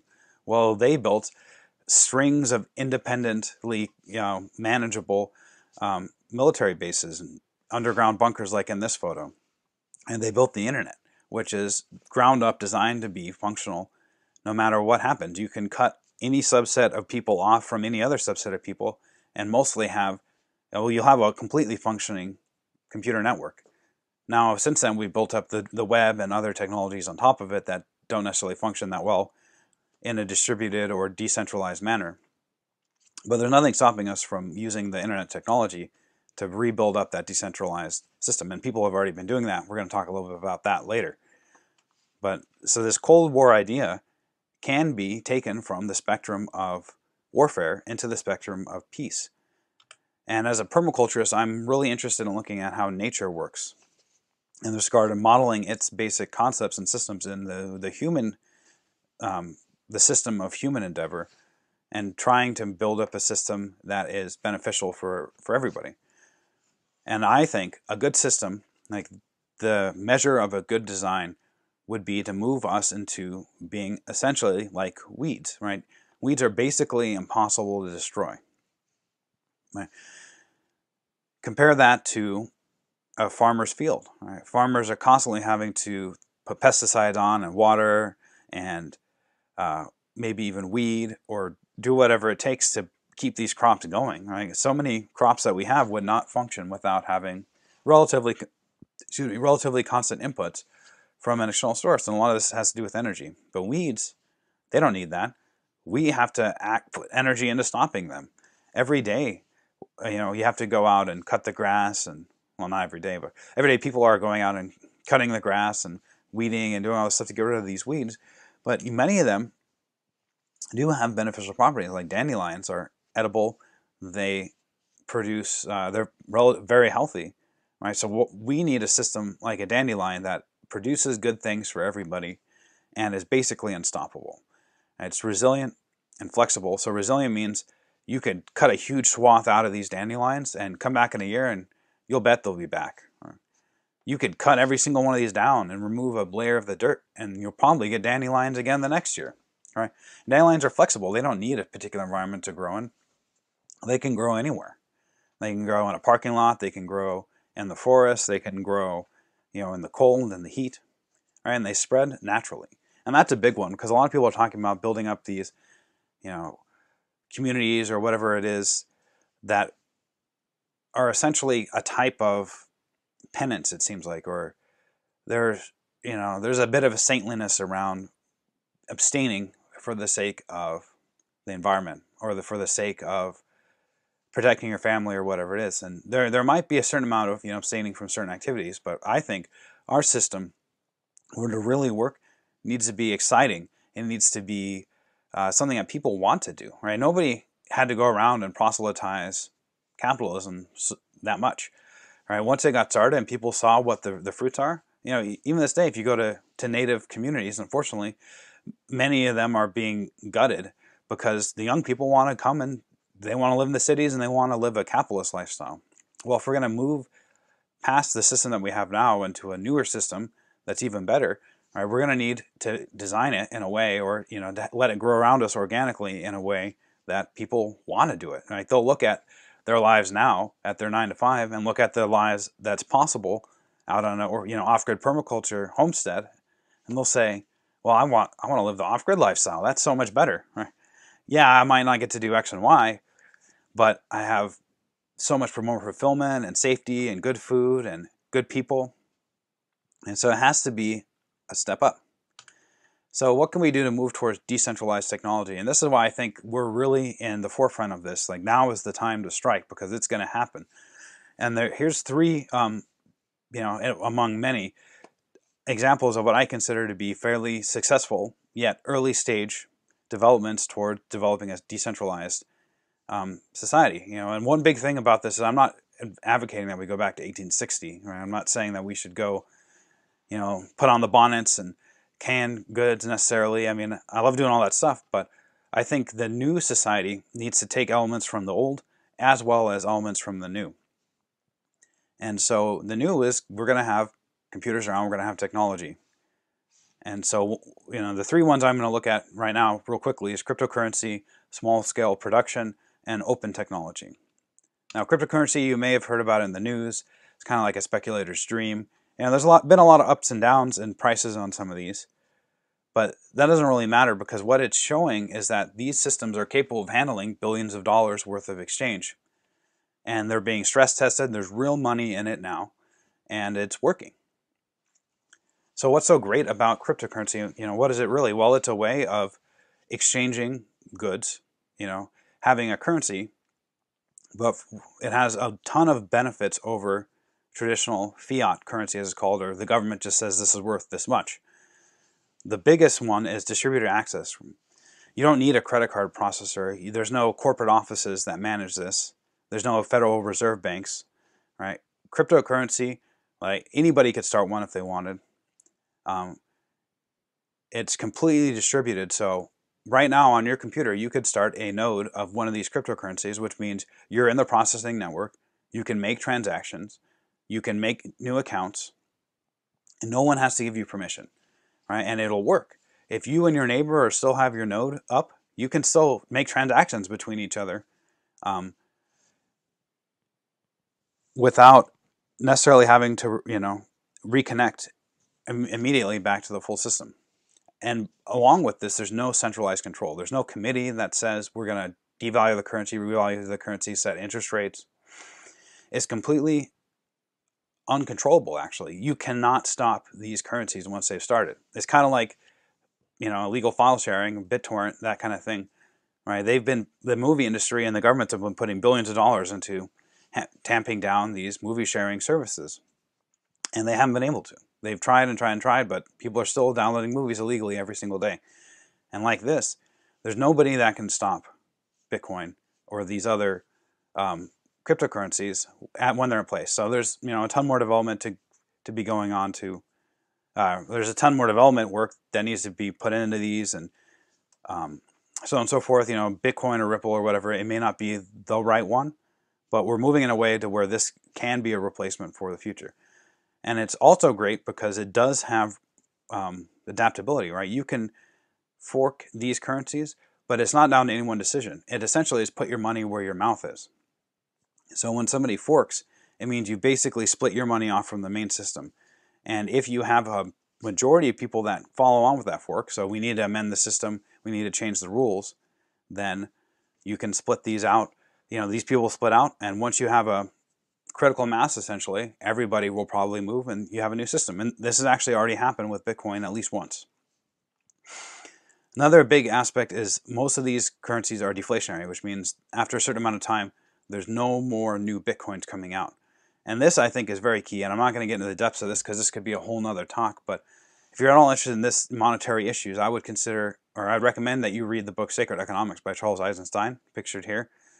And basically what the crux of his argument in this book is that inflationary monetary systems inevitably lead us to devil's bargains where we'll sell out ourselves and our future to get money because inflationary systems, especially with interest-bearing um, systems, which we have now, you know, so banks giving interest and so forth, lead us to do anything we can to convert resources into money because money keeps well. You can't lose it, and it tends to grow as an investment. So that's all I'll say about that, but very interesting. Another big move is going back to local production. Right? If we're incumbent or um, if we're indebted to China to produce all of our goods or whoever it is, you know, the big factory across the United States, then there's so many more avenues to cut us off from that supply. There's also a lot more avenues to control that supply, which is why people are pushing it. People at the top, because they want to control you because it makes them money or gives them power. Local production is a um, gives us the potential to do design differently, which I'll talk a lot about more in a little bit here, but also to get uh, raw materials locally. So what are we doing in this realm right now? Well, one big development is 3D printing. Now, it's probably mostly used for a little, you know, gimmicky stuff. There is definitely use for it in industry. It's being used very heavily in industry actually for prototyping and so forth. But this this whole concept of having a you know CNC, basically a computer that builds items locally out of raw materials from plans that you source on the internet, you know, it's like a printer. And that we've seen how you know vast the effect of printers have been on the printing industry. And now we have print-on-demand books. You know, there's so many things that you needed a copier for, you needed a copy by hand, or just the whole way that we work with printed materials has changed dramatically since the advent of the printer.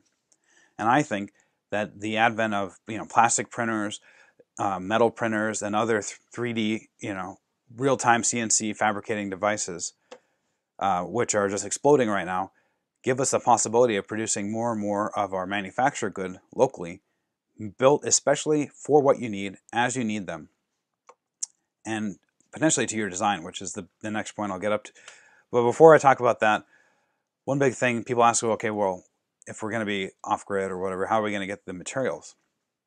And there has been some work into this, and there's a lot more room for growth. But essentially, you know, for instance, plastics, we don't need to use petroleum plastics. Before petroleum, we had plant-based plastics, and we still do have some, but there's a lot more room for growth in this area.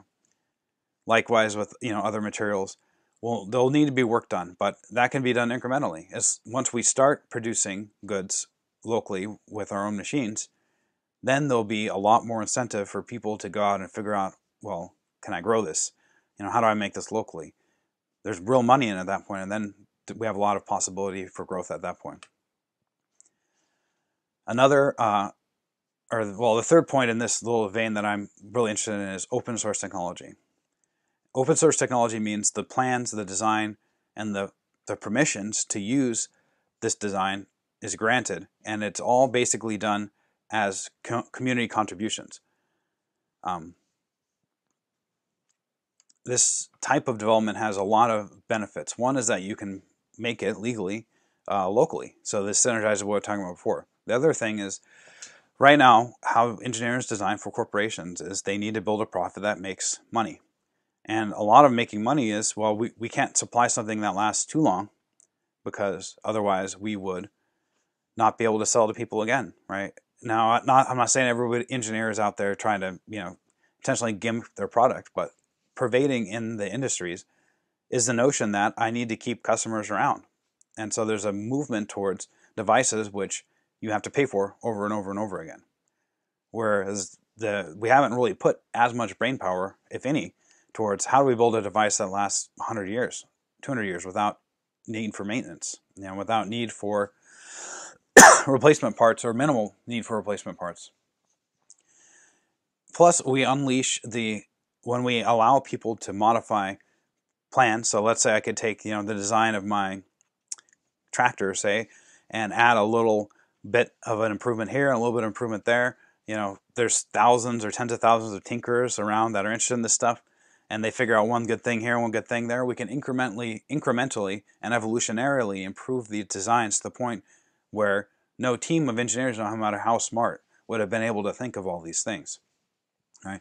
These designs can be vetted and tested over and over and over again. And there's no need for the newest, greatest, you know, car that comes out next year. Like, okay, you you want to print something cool and different, that's up to you. But the core building blocks that are in, in our society don't need to change that much. So if we get one or two really good engine designs, maybe that's all we need. And the third thing, or the fourth thing is everything would be inspectable, which gives us a unique freedom that we don't have now. There's so much going on in the electronics that we're buying that we, you know, we could be being um, spied on, you know, there could be security vulnerabilities, and more and more we're finding out about this stuff. And a lot of it exists only because we have no way of knowing what's in there, or no easy way. With open source technology, you're given the opportunity to inspect, you know, maybe you are not particularly an expert in that particular field, but it gives people around you in your community that are not part of a particular organization or company to the chance to look at these things, and so we know what's going on. So is this even possible? Well, open source is already winning in software. Right? If you look at the Linux operating system or other open source operating systems, they have a huge dominant market share when it comes to things like supercomputers, website delivery, um, you know, Google uses it, Amazon uses it. All these big people, heck, increasingly even Microsoft, the you know the arch enemy of open source, essentially, has been moving on that side. It's you know it's, it seems to be inevitable that open source is taking over, and I think that there's a place for us for open source hardware and open source permaculture to take over in the same way and to show that it is an intrinsically superior system to the competitive capitalist system that we have now. Why is this? Well, the web and social media have given us the opportunity for this interchange of information and this you know collective growth that we just didn't have in the past, right? Trying to do open source in the 70s, people were kind of doing it, but it's just so difficult. Now, with this information sharing technology that we have, you know, even if it's simple things like growing tomatoes, right? You you know people in community growing tomatoes, and by posting pictures on your on you know whatever social media, or communicating through forums or with people with like-minded interests as you, we'll be able to magnify human creativity to the point that you know our ancestors would have thought was basically impossible. It goes from uh, you know a hundred years ago, it might have been like a three or four week round trip to have a conversation with somebody, you know, via letters and writing and all that stuff. And now we can have a communication across the planet instantaneously. Like there's so much potential there that is currently untapped, and it's just going to grow and grow and grow. So, lastly, how do we get started doing this? Well, I would say we need to start at the bottom. You know, a lot of people are looking at higher technology things. Um, there's a lot of interest out there and really cool stuff, but I think what we need to be focusing on are four key targets. One, energy. We need the ability to light our houses, heat our houses, heat up our water for cleaning and for cooking, and to store food. We need the ability to have independent water and waste systems. We need the ability to produce our food locally, and we need the ability to build and maintain sustainable housing. I think if we get those four things down, then we have such a solid basis to continue on this project, you know, and to start checking out of elements of the previous system that may not serve us, like working 40, 50, 60 hour work weeks, you know, or having the whole family out of the house constantly, doing, you know, traveling around, driving, buying stuff, right? We can move towards where we're spending more time developing the things that we like to do, living life that we want. So first thing, solar. Here, it's cheap and it is legal, right? I I can show you the references, but essentially the current opinion is that yes, we do have the right to produce our own energy. And it's thought that the Constitution, through its wording, guarantees this right. Now, we haven't really tested that in court. I haven't found any cases where you know this is really seriously infringed upon. Now, they can legislate against you know beauty guidelines. So if you live in a HOA or something that's more restrictive, they can say, well, we don't like the look of those. But as of now, you know, finding the right spot, you have the ability to produce your own power, right? It's solar is a great way to get started because everybody can learn it. It's not really that difficult. Um, I wish it's something that every high school student learned, and I think you know, 20 years from now, it could be the case that every high school student comes out of high school knowing how to set up their own system and all the main components. But really, you know, with the way I teach it and the, all this information you can find online, it doesn't have to be intimidating. There's not really that much to it, and we can get all the parts now shipped. You know, Amazon will ship it to your door, or whoever you're buying from. Like it's just so easy to get started. And the next thing is water. All right, so this is a map I talked about earlier about the aquifer issues that we're having. And it comes down to it, almost every major aquifer in the United States is decreasing from moderately to extremely rapidly. Now in the Northwest, we actually have seen some increase, but as I said before, if all of the rest of this fails, you know, our little pocket of water up here is not long for this world. So what can we do to get around this? Well, one easy thing is gray water systems, right? We're flushing a lot of water down the drains that is moderately dirty. What is gray water? You know, bath water, other, you know, like dish water, stuff that isn't really dangerous, but it needs to be, um, well, it can be reused. So if it ties in, it ties in real well with the idea of growing your food locally to be reusing these, this water instead of sending it straight to the treatment plant, would have some form of local moderate treatment or using it in a way that's still safe right? Food scraps down the drain are great to go into the compost pile and into the garden. That's a perfect place for it, not in the drain. Um, combined with this, we can use improved gro growing practices to moderate the use of water. And what it comes down to is that agriculture is the main use of water. Um, there's just tons and tons of this water being used to grow our food. But by growing it locally in rain gardens, food forests, you know, one of this, you know, any number of these plethora of new growing methods that are coming out and being shown to be super effective, we can grow food with much less water than we're using now at a commercial scale. Another big thing we can look at is getting water from other sources. You know, rainwater collection, cheap, easy. I think everybody should be using it at some point. It just falls into the basin, right? All we got to do is collect it. Uh, surface water sources and shallow well sources are also something to consider. A lot of places this is not necessarily um, uh, explicitly allowed as a source of drinking water, but it can be used. And so I, I present a lot of this in more detail in my, you know, more in-depth courses on this subject. But the great part about all these systems is we're also less dependent on the current energy and manufacturing system because many of these systems have no or zero, you know, or very few moving parts. You don't generally need pumps. Um, if you design your system well, you don't generally need all this apparatus and electricity that we have that's associated with deep water pumps. Right? And so if we're trying to build a resilient system, even though we're producing our water from our own well, say, if we need, if we you know absolutely rely on these pieces of technology around us, electricity, then we could be up a creek very quickly um, if we don't address that too. Another big thing with the water is we're throwing so much money down the toilet, literally, because we're spending tons and tons on these uh, handling, processing, and storing of waste. Even if you have a septic, you, you're basically just storing most of the waste to pay somebody with a truck to come get it later. This waste is actually useful, and I've found two great uses for it. In fact, I believe you can actually use both of them if you like. Excuse me. One is, of course, composting the waste. And there's a number of systems for this, composting, built-in toilets. It could be as simple as, you know, a bucket, and it doesn't have to be unhygienic or anything. Now, you can have a nice bathroom, but still use the waste, um, handle it safely, and there's proper composting techniques for this. And then at the end, you get wonderful, you know, sanitary uh, earth, like completely indistinguishable from any other earth, because a lot of earth actually came from poop. That's where it comes from. So we can build this composting system, low tech, you know, anybody can do it in a weekend in your home and get, you know, expensive compost out of stuff you would have paid to get rid of anyway. The other big thing I love is biogas. And this is the idea of where we're taking, you know, potentially human waste, other waste from around the garden, stuff that we would have to pay to get rid of, or, you know, you might compost, but instead of doing that first, you're basically composting it in a, methane collector. So biogas is methane. And this has been shown to be effective um, in certain places in Europe, particularly Germany. This has been, been used since uh, you know, the 40s and 50s in a large scale. And they're producing large volumes of methane, which they use for energy production. We can use it for cooking, for heating, um, locally, you know, in your own home. And there's systems for this too that you can build, you can buy. Um, so why would we pay to get rid of this or you know flush it down the toilet when we have this wonderful resource there for us to use.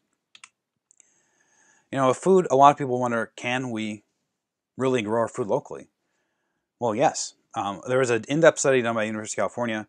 Um, I have the link if anybody's interested. But what it comes down to, what they, you know, their conclusions are that 9% of Americans can grow all of their food within 100 miles of their home. You know, and that's even people, you know, a lot of Americans live in major cities. You know, live in Arizona, like places that are not great or either too dense or not great for growing stuff. So if you live anywhere a little bit outside of a city, you're way, you know, you have a leg up already. Um, and I didn't put on the slide, but another follow-up was that if you want to grow within 50 miles of your home, well, 80% of Americans can do that, according to their analysis. And if we just put a little effort into redesigning how our cities are and where people live and how we work, we can easily make this be 100%. It's not even an issue at all. America is great we have so much opportunity to grow in food and live healthy. Um, I wish more people would take it. You know, in food, it grows on trees. Money doesn't grow trees, but food does. All we need is the skills. You know, it doesn't have to be a super expensive venture. I'm sure there's lots of companies, and Home Depot would love you to go and buy all the stuff that they're selling. You don't need it. You just need a little bit of knowledge, and you need a little bit of understanding, and the, you know the willingness to go and try out things.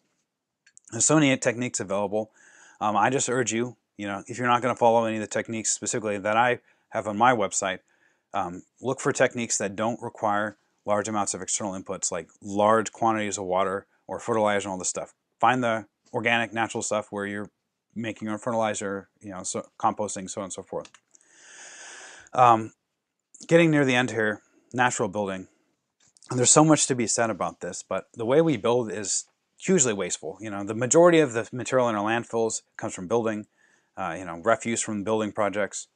And the way we build our buildings is, is not designed well for the environments that they're in. You know, a lot of them are designed for Southern California, and most of us don't live in Southern California. And even if you do, there's a lot that can be done in those areas to improve energy efficiency and improve um, the design of the homes to where they're more comfortable living and more uh, sustainably, more sustainable to operate.